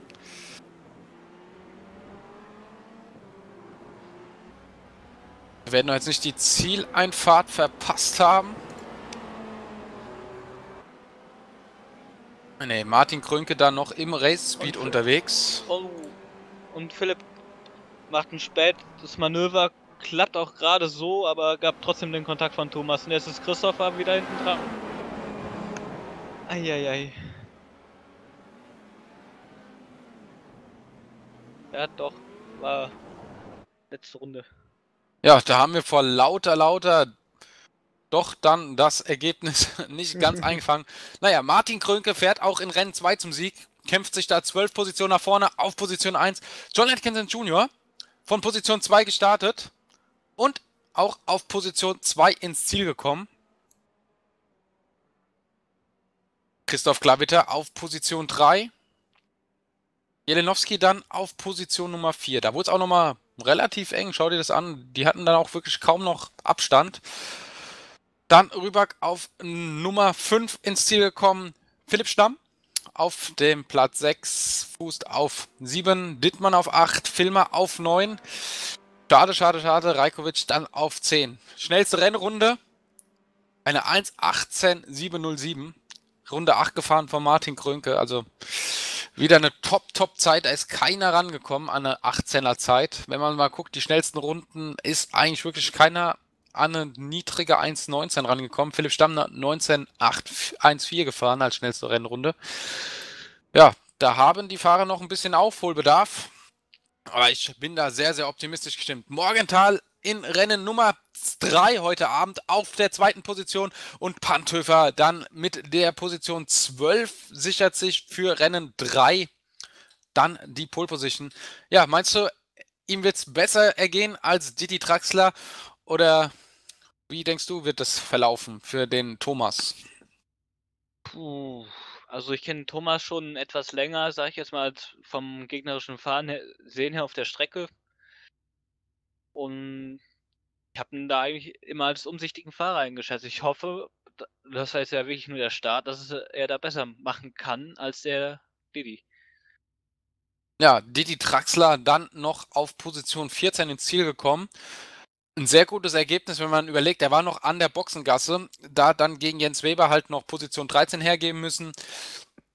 Auf Position 15 Matthias Hübel und dann haben wir die ersten Ausfälle. Kern und Hoppe vom Reactive Sim Racing Team ausgefallen, komplette Teamleiter ausgefallen. Nils Carstensen, Carstensen auf 18, Sascha Henken auf 19 und Klaus Förding auf Nummer 20. Ja, wir gehen in die letzte Unterbrechung, sind dann gleich wieder zurück. Wenn es zum letzten Mal heute am Montagabend diesen Montagabend natürlich gibt es nächsten Montagabend wieder ein Rennen und übernächsten. Kommen wir später noch dazu ja, für heute Abend dann zum letzten Mal heißt grün und alle Fahrer kommen hoffentlich gut gleich vom Start weg. Wir melden uns gleich wieder zurück hier live aus Kalifornien.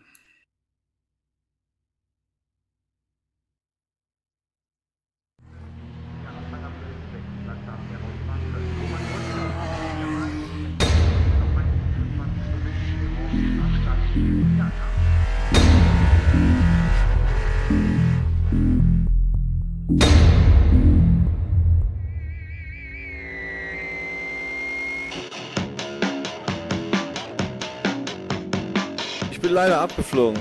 Wie im echten, wie im echten Leben.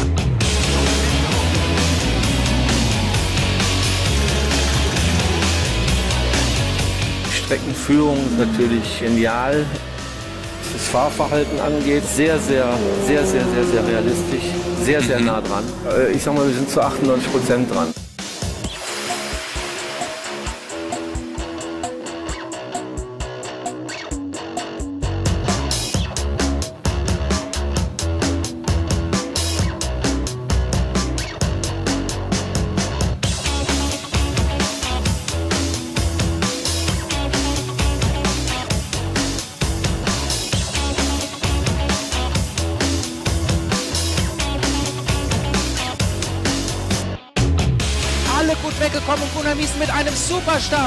Setzt sich da schon ran an die beiden Vorfahrer da vorne.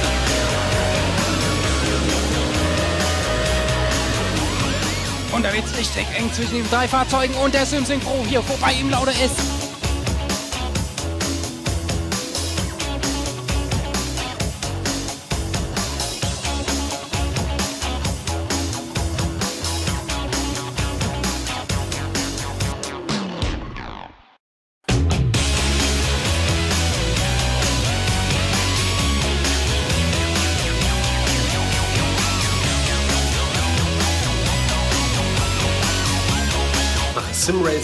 zu deinem Motorsport.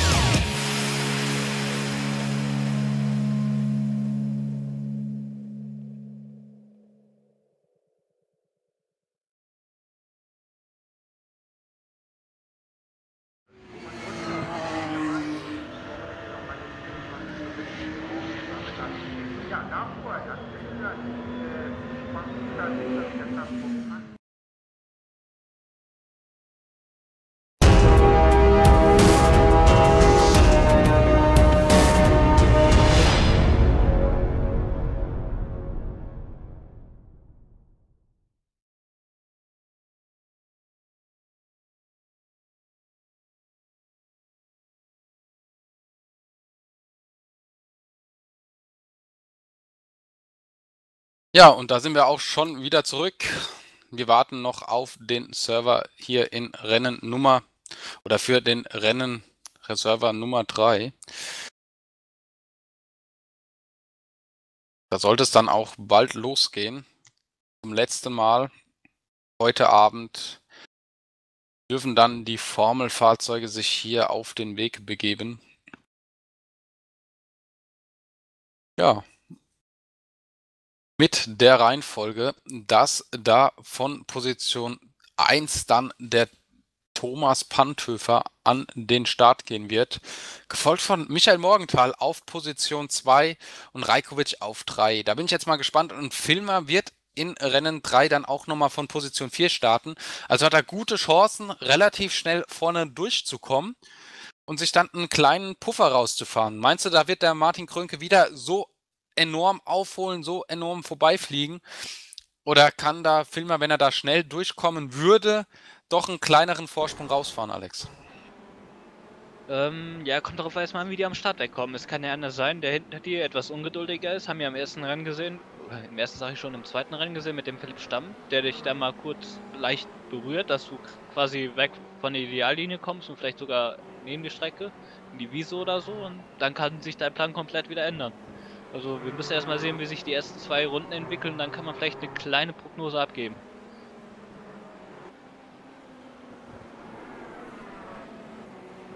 Ja, und es ist wirklich ein tolles, tolles Rennformat. Also mir macht das richtig Spaß heute Abend.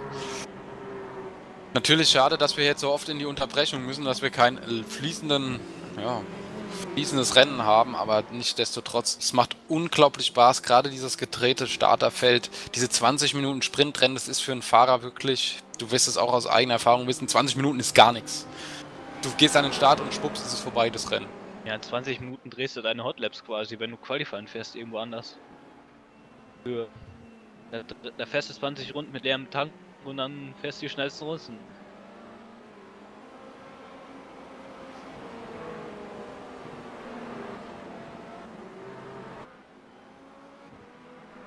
Ja, wenn wir jetzt uns nach zwei Rennen hier auch mal so gerade, wir haben noch vier Minuten gut Zeit, einfach mal so die Gesamtwertung angucken.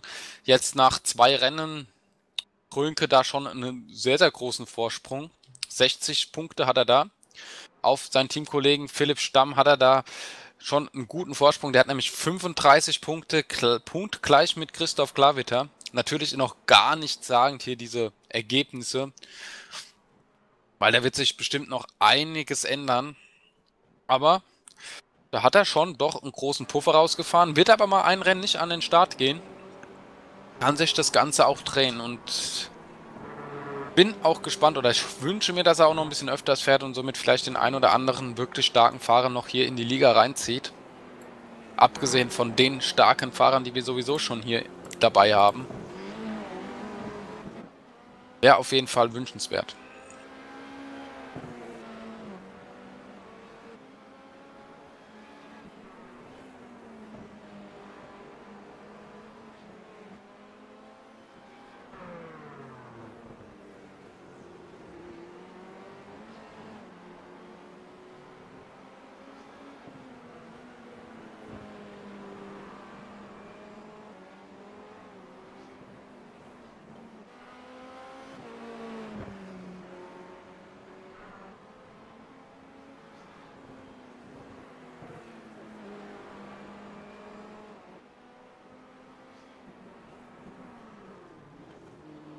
Ja, Didi Draxler hat den Pechvogel aus Rennen 1, äh, Rennen 2, der da auf der Pole Position dann diesen Jumpstart hatte.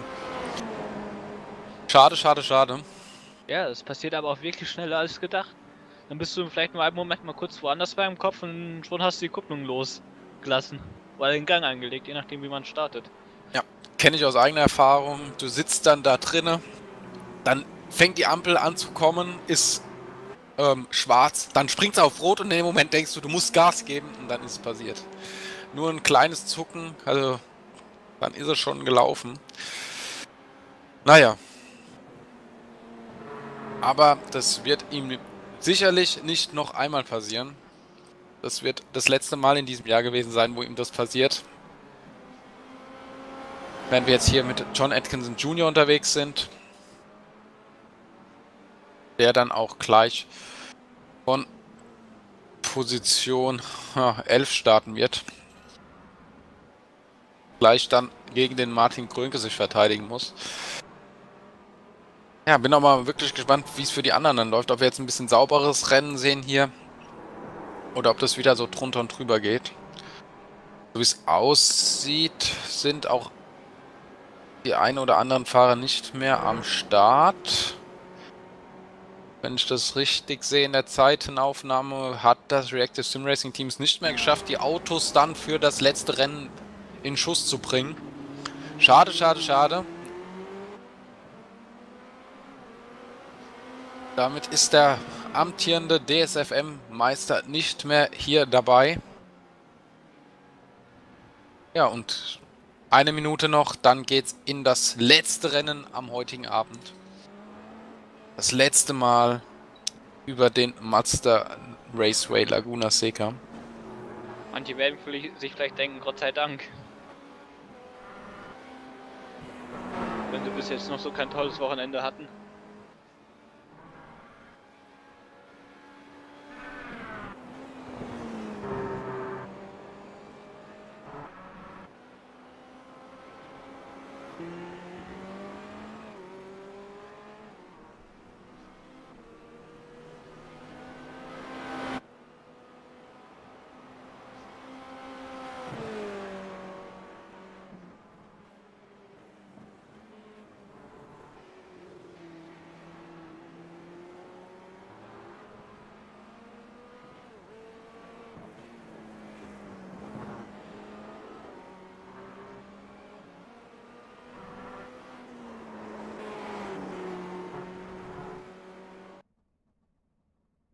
Die Autos verschwinden. Das bedeutet für uns, gleich geht's los.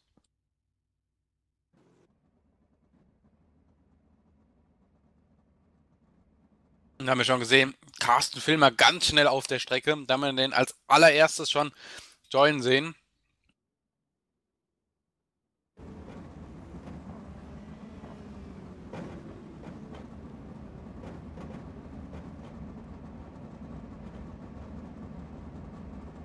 Also, Pantöfer vor Morgenthal, vor Rajkovic. Das sind die ersten Fahrer. Thomas Pantöfer auf Position 1 liegend. Letzten Fahrer werden jetzt jeden Moment joinen. Jetzt geht's jeden Moment los. Eine Sekunde noch.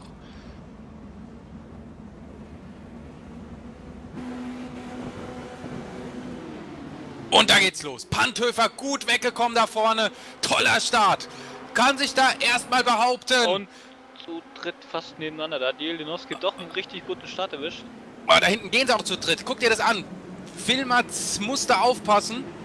Ne, Morgenthal ist das. Oh, und da gibt ein ein und- Riesencrash. Oh, Klavitter, Fuß, Förding. Eieiei, da hat's richtig gerappelt da im Hintergrund und einer liegt auf dem Kopf. Uiui, ab Position 10 hat's da richtig gerappelt. Und der letzte, der da durchgekommen ist, scheint Martin Krönke zu sein. Während sich vorne erstmal Pantöfer absetzen kann. Grajkovic auf Position 2 liegend, Filmer auf Position 3, Dittmann auf 4. Wo ist Morgenthal? Morgenthal ist zurückgefallen auf Position 8. Ja, Nicht den optimalsten Start erwischt. Und Philipp Stamm greift da schon Jelenowski an. Reicht aber nicht hier in Corkscrew vorbeizugehen.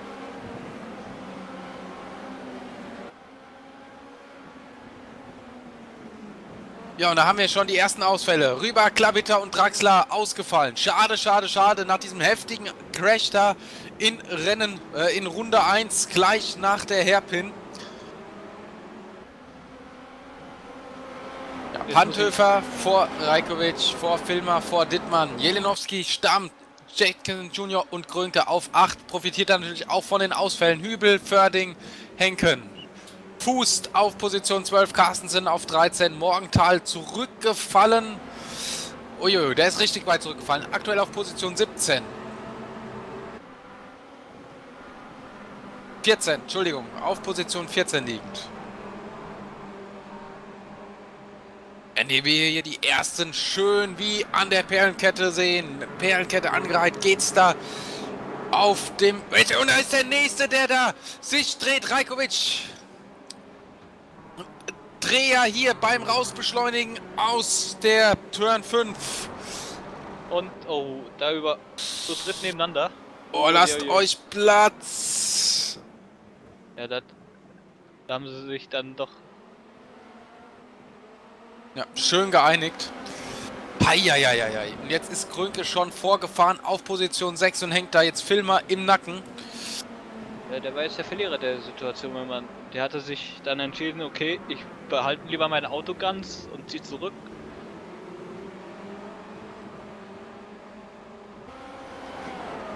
Ja, und jetzt heißt es verteidigen. Diesmal geht er aber mehr auf Kampflinie, macht da die Innenbahn zu. Bin ich gespannt. Kann Krönke da außen vorbeigehen? Filmer verteidigt erstmal schön hier seine Position gegen Krönke und hat auch immer noch die Chance, da jetzt vorbeizugehen an Jelenowski. Wenn wir jetzt sehen, Dittmann, der an dem Teamkollegen von Krönke dran ist, an dem zweiten VS Coanda Simsport Auto. Verliert da aber etwas und hinten staubt's. Da wird die Strecke gleich wieder voll mit Sand sein und Krönke greift an. Krönke vorbei an Filmer. Schöner Angriff. Zieht er im letzten Moment raus und bremst sich da vorbei. Schönes Manöver von Krönke. Ja, und der Martin meinte im privaten Gespräch noch im kleinen Interview vorher, dass es nicht möglich wäre, an dieser Stelle zu überholen. Allgemein bietet ja Laguna Seca nicht viele Überholmöglichkeiten.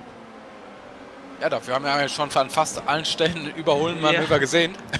dafür, dass man hier nicht viel überholen kann, wurde ja eigentlich schon an jeder Kurve überholt, wenn ich mich jetzt nicht irre. Und na, kurz nach innen geschaut, aber nicht wirklich probiert. War noch zu weit weg da. Hat jetzt einen besseren Ausgang und kann sich daneben setzen auf der Innenspur.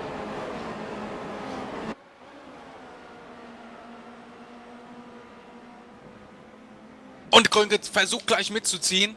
Da vorbei an Dittmann, setzt sich auf die Innenbahn. Dittmann lässt ihm Platz und da ist er vorbei. Ja, wir haben schon das Kommentar hier im dem YouTube-Stream. Wetten über den Sieger, glaube ich, brauchen wir nicht zu machen. Ja, ähm. Ja, mal sehen. Rennen ist erst dann gewonnen, wenn es gefahren ist. Aber ja, Ich da läuft im Moment alles für Martin Krönke. Ja, das ist. Martin hat irgendwie momentan so ein magisches Händchen dafür. Einfach alles zu überstehen, was ihm im Weg kommt. Ja, es hätte auch ganz anders laufen können. Er hätte jetzt auch einfach da ruckzuck mal in diese Karambolage reinfahren können. Und dann wäre es das gewesen. Ja. Das sind so Situationen, damit kann man nicht rechnen, aber ja, im Moment läuft es für ihn. Dem läuft es ja nicht nur hier, sondern, ich habe es jetzt schon mehrmals erwähnt, auch in der Weltmeisterschaft läuft es für ihn da richtig gut. Ja, da ist er im Moment auf dem Himmel, ja, au- auf der siebten Wolke und fährt da ein Rennen nach dem anderen. Super nach Hause. Ja, Er kommt jetzt aber nicht wirklich ran. Da hat der Marcel wirklich ein gutes Setup auf der Geraden gefunden. Ah, Also schau dir der- das an. Jelinowski hat da wieder die Innenbahn offen gelassen und Krönke versucht es da immer. Also da muss man aufpassen. Krönke versucht es immer wieder und da sehen wir ihn in der nächsten Kurve. So viel dazu, man kann hier kaum überholen.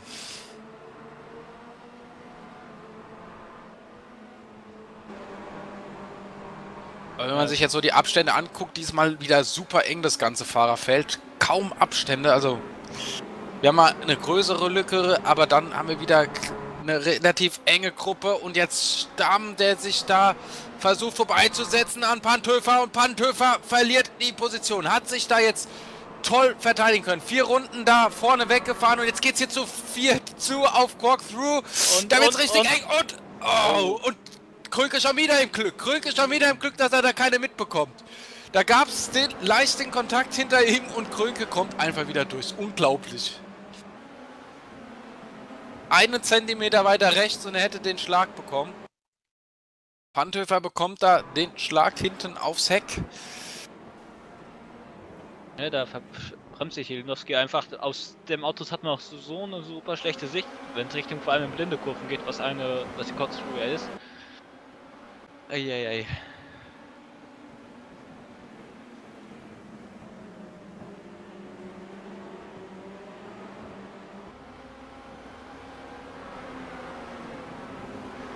Ja, und du sagtest, er hat ein Glück, der Martin Krönke, und jetzt auch schon wieder und kann sich somit dann vorbeisetzen an Philipp Stamm. Aber da haben nur Zentimeter gefehlt und er wäre auch aus dem Rennen genommen worden oder er hätte zumindest ein paar Positionen verloren. Ja, Filmer, der jetzt an Jelinowski dran ist. Genau, der ist schon wiederum am Philipp Stamm dran.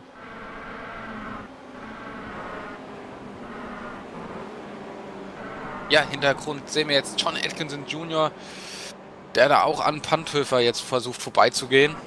Ja, Panthöfer wird einen kleinen Schaden genommen haben. Boah. Spät gebremst hier auch in Corkscrew rein. Es verleitet, du hast eben schon gesagt. Erstmal schwer zu fahren, weil man wenig sieht und dann verleitet diese Kurve einfach zum wirklich spät bremsen. Ja, und John Atkinson Jr. vorbei an Thomas Panthöfer.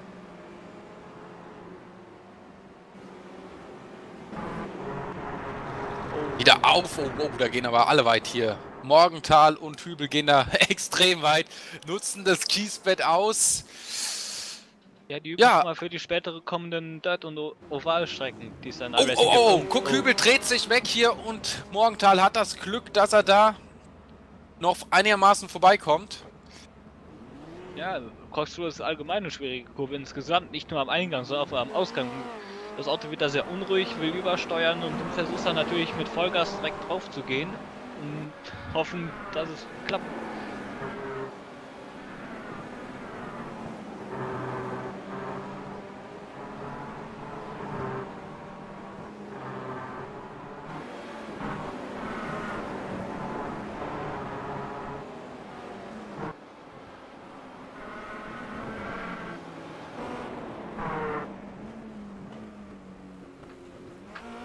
Eine wunderschöne Aufnahme hier durch, durch die Cork-Through. Geht's bergab. Schön gefilmt. Voll auf das Heck von Marcel Jelinowski. Da sieht man auch, wie alle Komponenten mit. Oh, und der Angriff von Filmer. Setzt sich daneben auf der Außenbahn, muss erstmal zurückstecken. Uiuiui.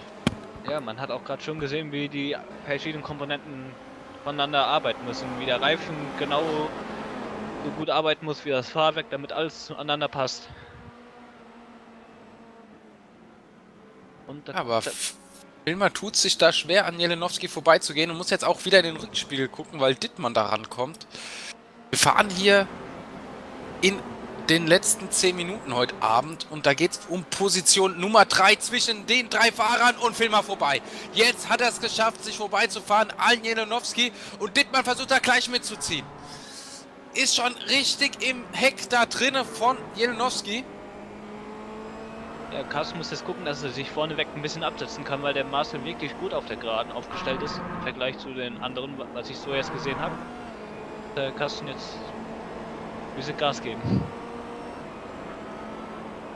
Hier sehen wir das wieder anbremsen. Hier geht es nochmal über ein, ja, eine Welle drüber, was dann das Auto auch nochmal leicht aushebelt und ja, du sagst es, hier diese Corkscrew, man verliert dann auch so ein bisschen das Gewicht des Autos. Also wenn man selbst runterfährt, man hat auf einmal kein Gegenlenken. Du verlierst so gefühlt leicht den Grip und auf einmal hast du wieder vollen Grip und gibst Gas. Und wenn das Auto nicht gut abgestimmt ist, verlierst du dann einfach das Heck, was wir bei Matthias Hübel vorhin gesehen haben.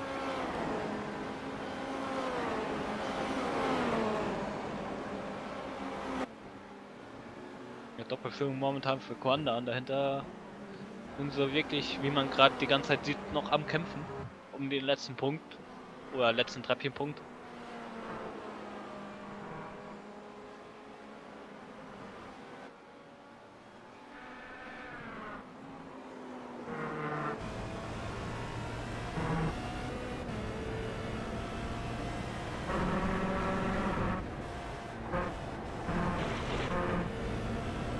Sehen wir auch richtig jetzt Anfahrt Corkscrew. Fast gar nichts. Die Kurve fährst du wirklich blind an, kommst über die Kuppe und dann zack, geht's wieder in die Senke bergab. Ja, für die, die jetzt noch nicht so intensiv mit iRacing sich befasst haben, werden jetzt sich gewundert haben, warum steht er denn hier Rückwärtsgang, also dass er, oh, Dreher da von Dittmann noch gerade so verhindert. Aber da war gerade wieder die Situation. Bisschen früh wahrscheinlich aufs Gas gegangen und dann fehlt einfach die Traktion und der Grip und dann dreht das Auto ein bisschen raus, kann dann das Auto übersteuern, aber noch abfangen. Ja, ja warum steht da das R? Warum steht das R auf dem Bildschirm? Es ist so, dass iRacing nicht die Möglichkeit bietet zu gucken, welcher Gang der andere Fahrer da gerade in welcher Kurve fährt, hat ja, meines Erachtens wohl auch den Grund, dass man gerade wenn es dann in so große Rennen geht, nicht sich dann das ein oder andere abgucken kann, weil es soll doch noch ein bisschen Wettbewerb sein. Ja, die Profis, denke ich, können aber doch schon heraushören, wie die Leute in welchen Gang fahren und auch aus eigener Erfahrung dann natürlich.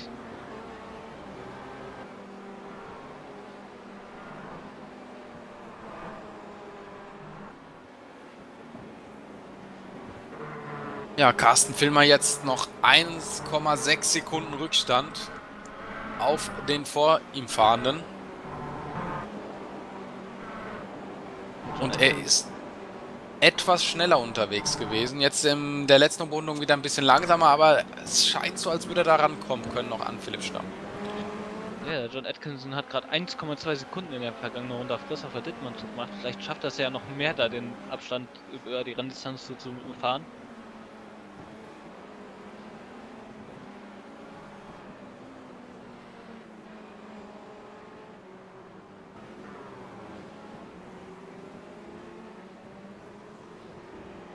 Ja, wir gehen gleich in die letzten fünf Minuten. Zehn Runden sind bereits gefahren. Und in den vergangenen zwei Läufen hat man ja gesehen, die letzten fünf Minuten waren eigentlich die ereignisreichsten. Weil sich dann nochmal wirklich alle nochmal zack und zugelegt haben und gesagt haben, komm, den schnappe ich mir noch und dann gab es halt die Action. Ja, um jetzt nochmal ein bisschen so den Frust rauszulassen. Also Martin Krönke deklassiert da alle Fahrer hier. Eine Zeit, die letzte Umrundung, schaut es an, 1.16.6, 1.1 gefahren. Wenn man mal guckt, so im Feld, was die zweitschnellste Zeit war, eine 1.18.6, 1.0. Ja, also eine 1.16.6, 1.1 gegen eine 1.18.6, 1.0, ja. ja. Der hat gerade in der letzten Runde 2,7 Sekunden auf seinen Teamkollegen rausgefahren. Ja, aber da sieht man wieder, Stamm hat natürlich Filmer im Nacken und Filmer schließt da langsam etwas auf. Wobei jetzt gerade so in der letzten Umrundung, ja, Drei Zehntel hat er da verloren.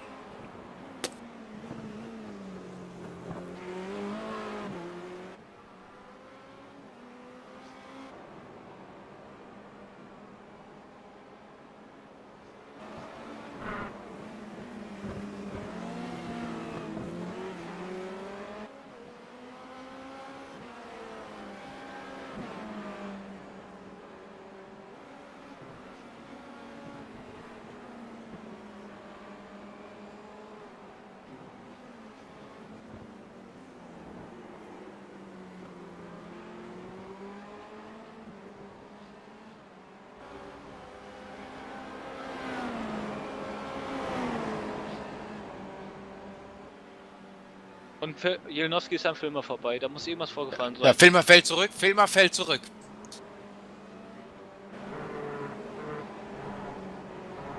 Filmer zurückgefallen auf Position 6, also da war er, da muss wirklich was vorgefallen sein. Verliert da einiges, verliert da über 5 Sekunden.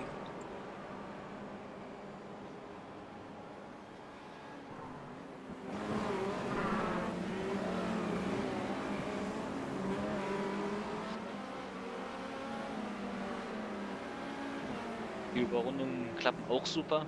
Also da wird echt super Platz gemacht. Ja, und da auch ein Lob an die Fahrer.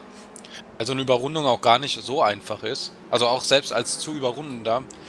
Manchmal sogar noch schwerer, als wenn man dann der Fahrer ist, der überrundet. Weil man dann sagt, oh, der kommt so schnell, was mache ich jetzt?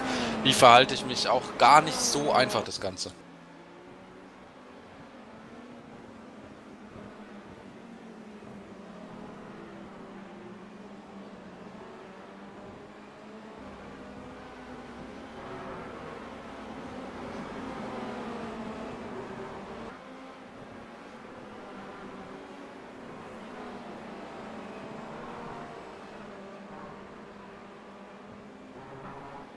Wird es auch nochmal schön eng zwischen John Atkinson Jr. und Christopher Dittmann. Position 4 wird hier ausgefahren und Carsten Filmer fliegt da auch richtig ran jetzt nochmal an die zwei hier vorne. John Atkinson Jr. geht da weit, verliert da ein bisschen Meter. Hat ihm circa drei Zehntel, vier Zehntel gekostet, dieses Manöver. Da dieses etwas weiter rausfahren, also das bringt nicht wirklich Zeit, wenn man da in die Wiese kommt, beziehungsweise in den Sand, der hier wirklich überall neben der Strecke ist. Wir haben anderen noch einen Ausfall zu verzeichnen, leider. Ja, Thomas Panthöfer, wenn wir da von der Zeitenanzeige die richtige Information bekommen.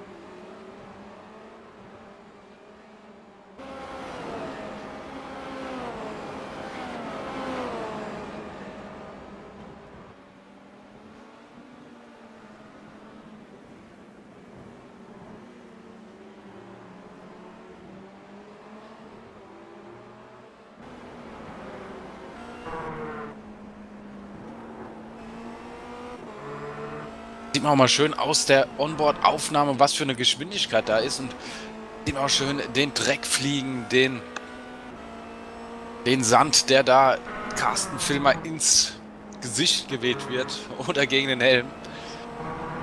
Und er ist dran an John Atkinson Jr. Ja, ich habe mir sagen lassen, dass das Auto ein besseres Leistungsgewicht hat als ein GT3. 500 Kilo Gewicht bei 210 PS. Guckt das an, alle super spät auf der Bremse. Man sieht auch die Gummifetzen der Reifen da schön fliegen. Tolle Aufnahme hier aus der Cockpit-Perspektive. Der Carsten hat da noch anscheinend die besseren Reifen, kann die engeren Linien fahren in den Kurven. Oh, Und- Dreher hier von Christopher Dittmann. Puiuiui.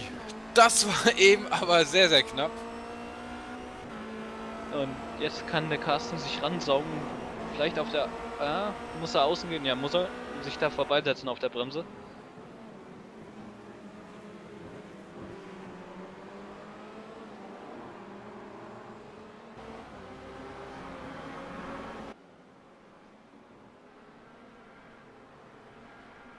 Und John Atkinson Jr. da auch wieder weit gegangen. Und Carsten Filmer nutzt da auch jeden Zentimeter geradeaus. Ja, was wir vielleicht noch sagen sollten, ab einer gewissen Zahl, die man neben der Strecke war, gibt es äh, Strafpunkte. Wertungsstrafen dann. Also da und der nächste Angriff hier von Carsten Filmer setzt sich da rein, zeigt sich und da kommt der Fehler, nächste Fehler von Dittmann und er verliert die nächste Position. 16 Sekunden noch, ja, eine Runde noch zu fahren. Krönke gerade über Start und Ziel gegangen. Die Regie fängt ein. Da haben wir noch eine Runde.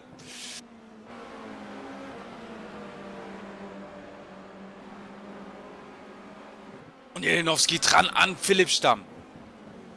Da geht es um Position 2, während Martin Krönke da schon über Start und Ziel ist vorne schon 26 Sekunden rausgefahren hat. Dem jetzt hier die zwei Fahrer, die jetzt hier noch um Position 2 kämpfen. John, äh, Philipp Stamm und Marcel Jelenowski. Dahinter dann Don Atkinson Jr., der noch sich da um Position 4 mit Carsten Filmer und Christopher Dittmann streiten wird.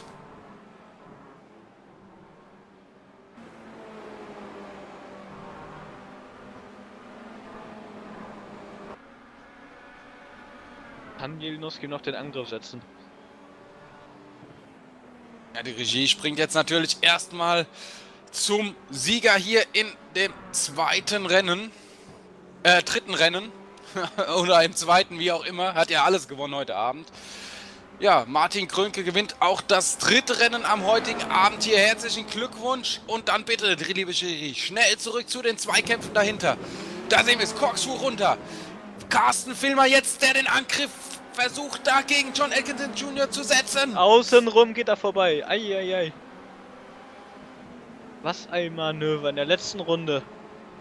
Und Dittmann ist Was, der Jelenowski! Guck dir an, Jelenowski! Vorbei an Philipp Stamm! Mann, meine, meine, meine Güte, was war das für ein Ende? Jelenowski sichert sich da noch Position 2. Vorbeigezogen an Philipp Stamm in der letzten Runde, in der letzten Kurve. Was ein Manöver. Hier sehen wir es schon, zu zweit gehen sie hier auf die letzte Kurve zu. Da zieht dann Janilowski nicht zurück. Philipp Stamm merkt, das ist der Fahrer innen. Und da setzt er sich durch. Tolles Manöver war das. Super Manöver. Ja, und vor allem fair. Da hat keiner wirklich die Nerven verloren, sondern haben sich noch Platz gelassen. Ja, und das ist auch nicht üblich. Sascha Hanken, Henken fährt auf Position 9 ins Ziel und Michael Morgenthal. Ja, von Position 2 gestartet. Bisschen unglücklich da von der zweiten Position weggekommen und fährt sich dann noch auf Position 12. Schönes Ergebnis. Matthias Hübel auf Position 13. Ja, das Gesamtergebnis. Krönke vor Jelenowski vor Stamm. Was war das für ein Überholmanöver? Tolles Ende hier von dem letzten Lauf heute Abend.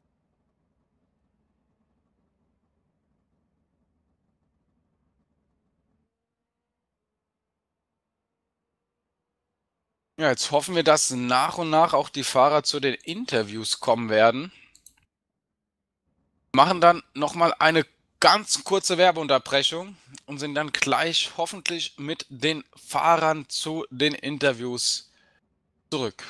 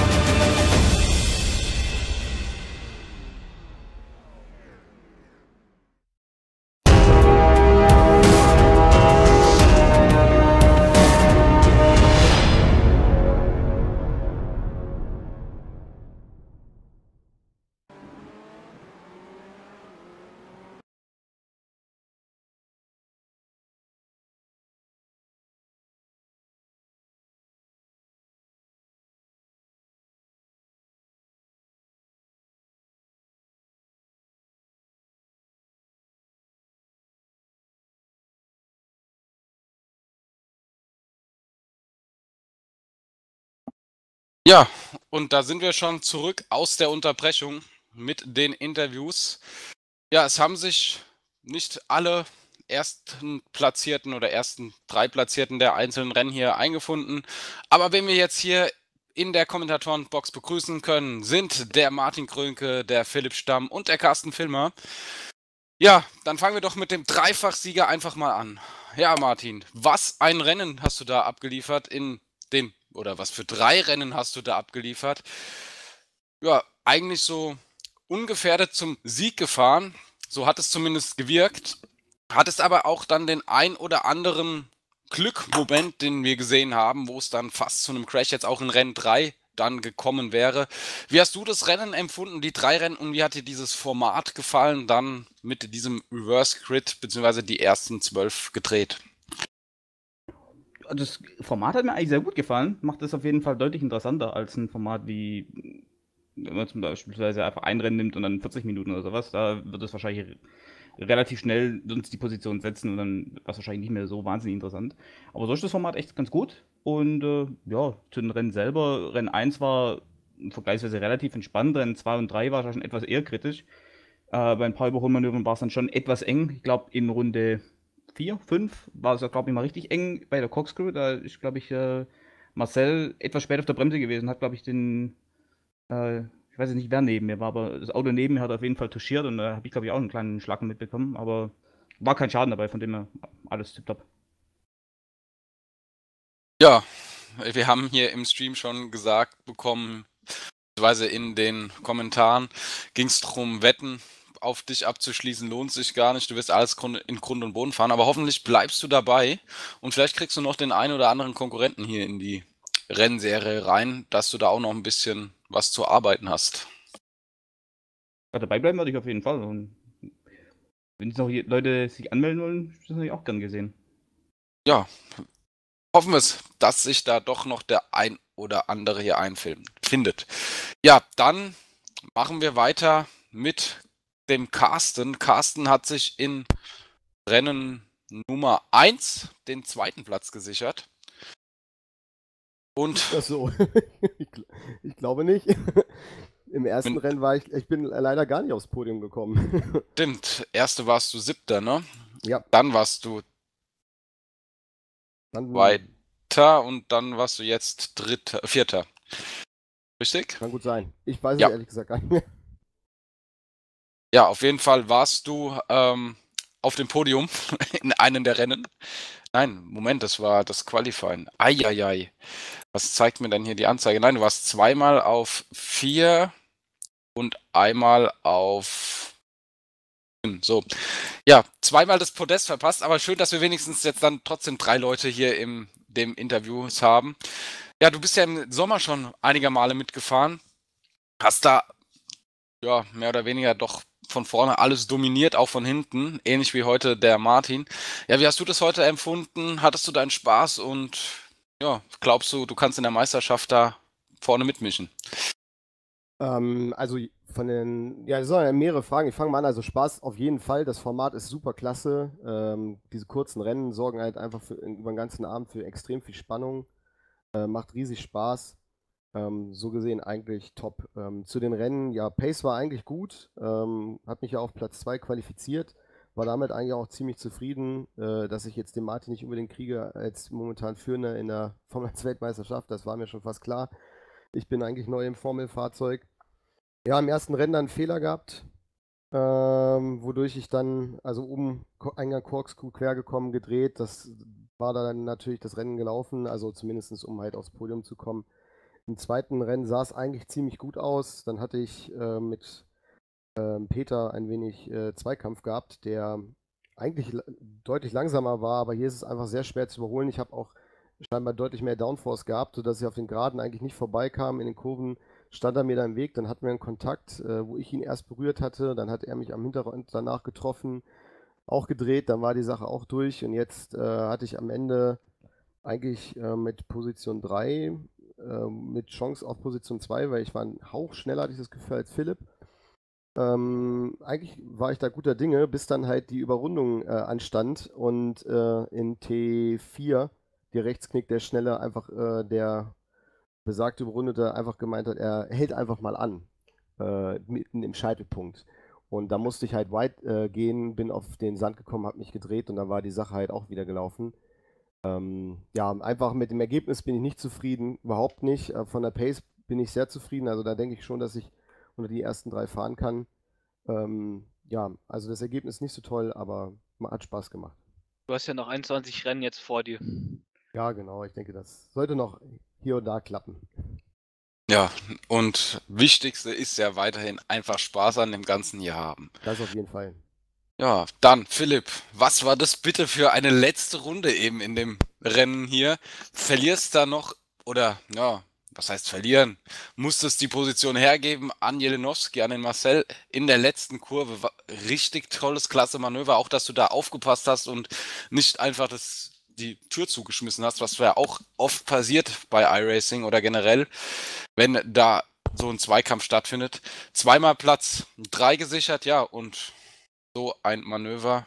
Wie hast du das empfunden und wie fandest du so die Zweikämpfe und was sagst du zu dem neuen, ja, jetzt verschlucke ich mich auch noch fast, zu dem neuen Format, das hier SimRacing Deutschland anbietet?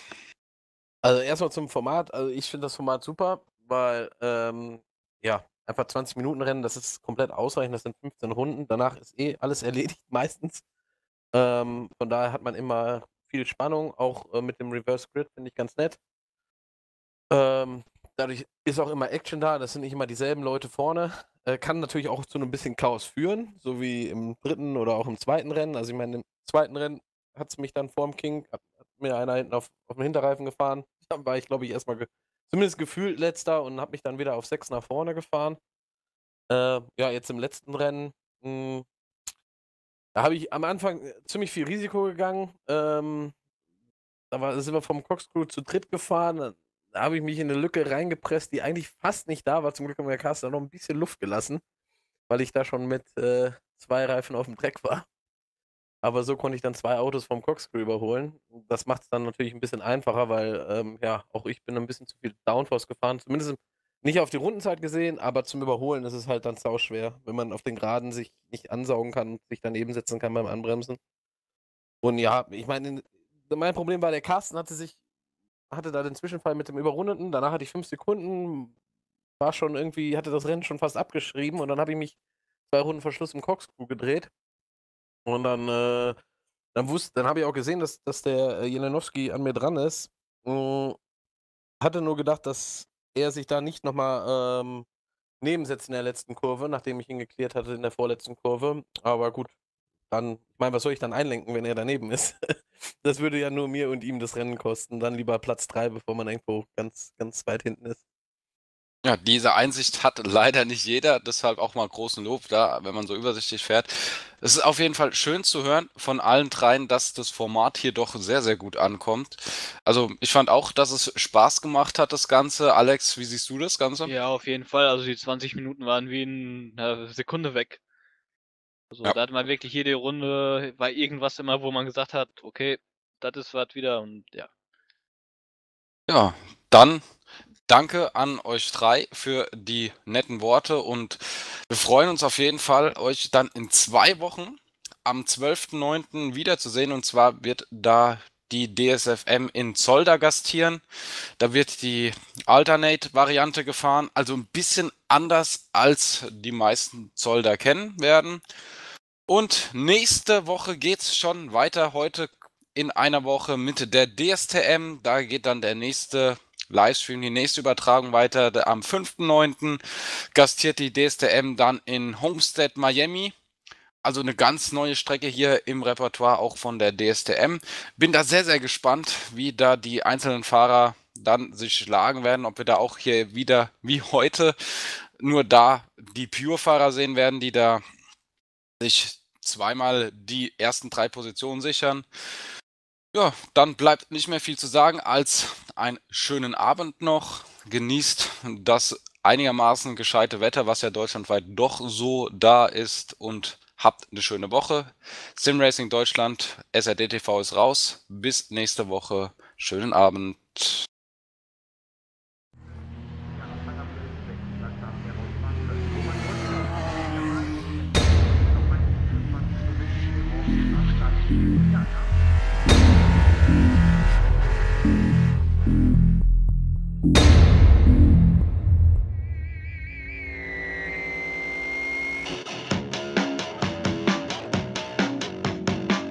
Bin leider abgeflogen.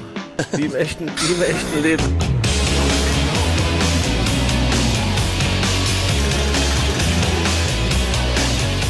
Streckenführung natürlich genial.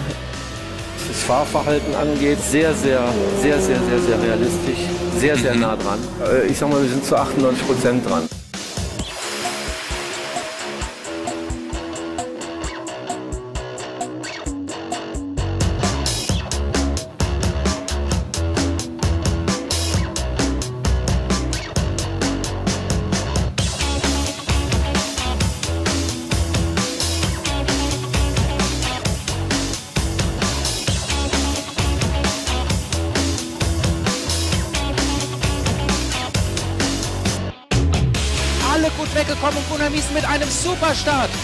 Da schon ran an die beiden Vorfahrer da vorne.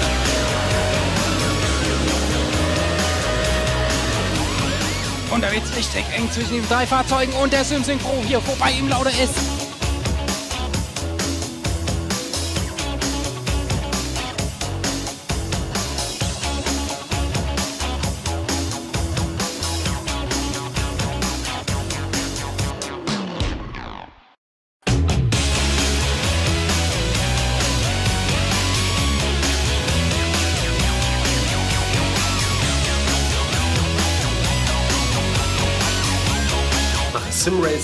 zu deinem Motorsport.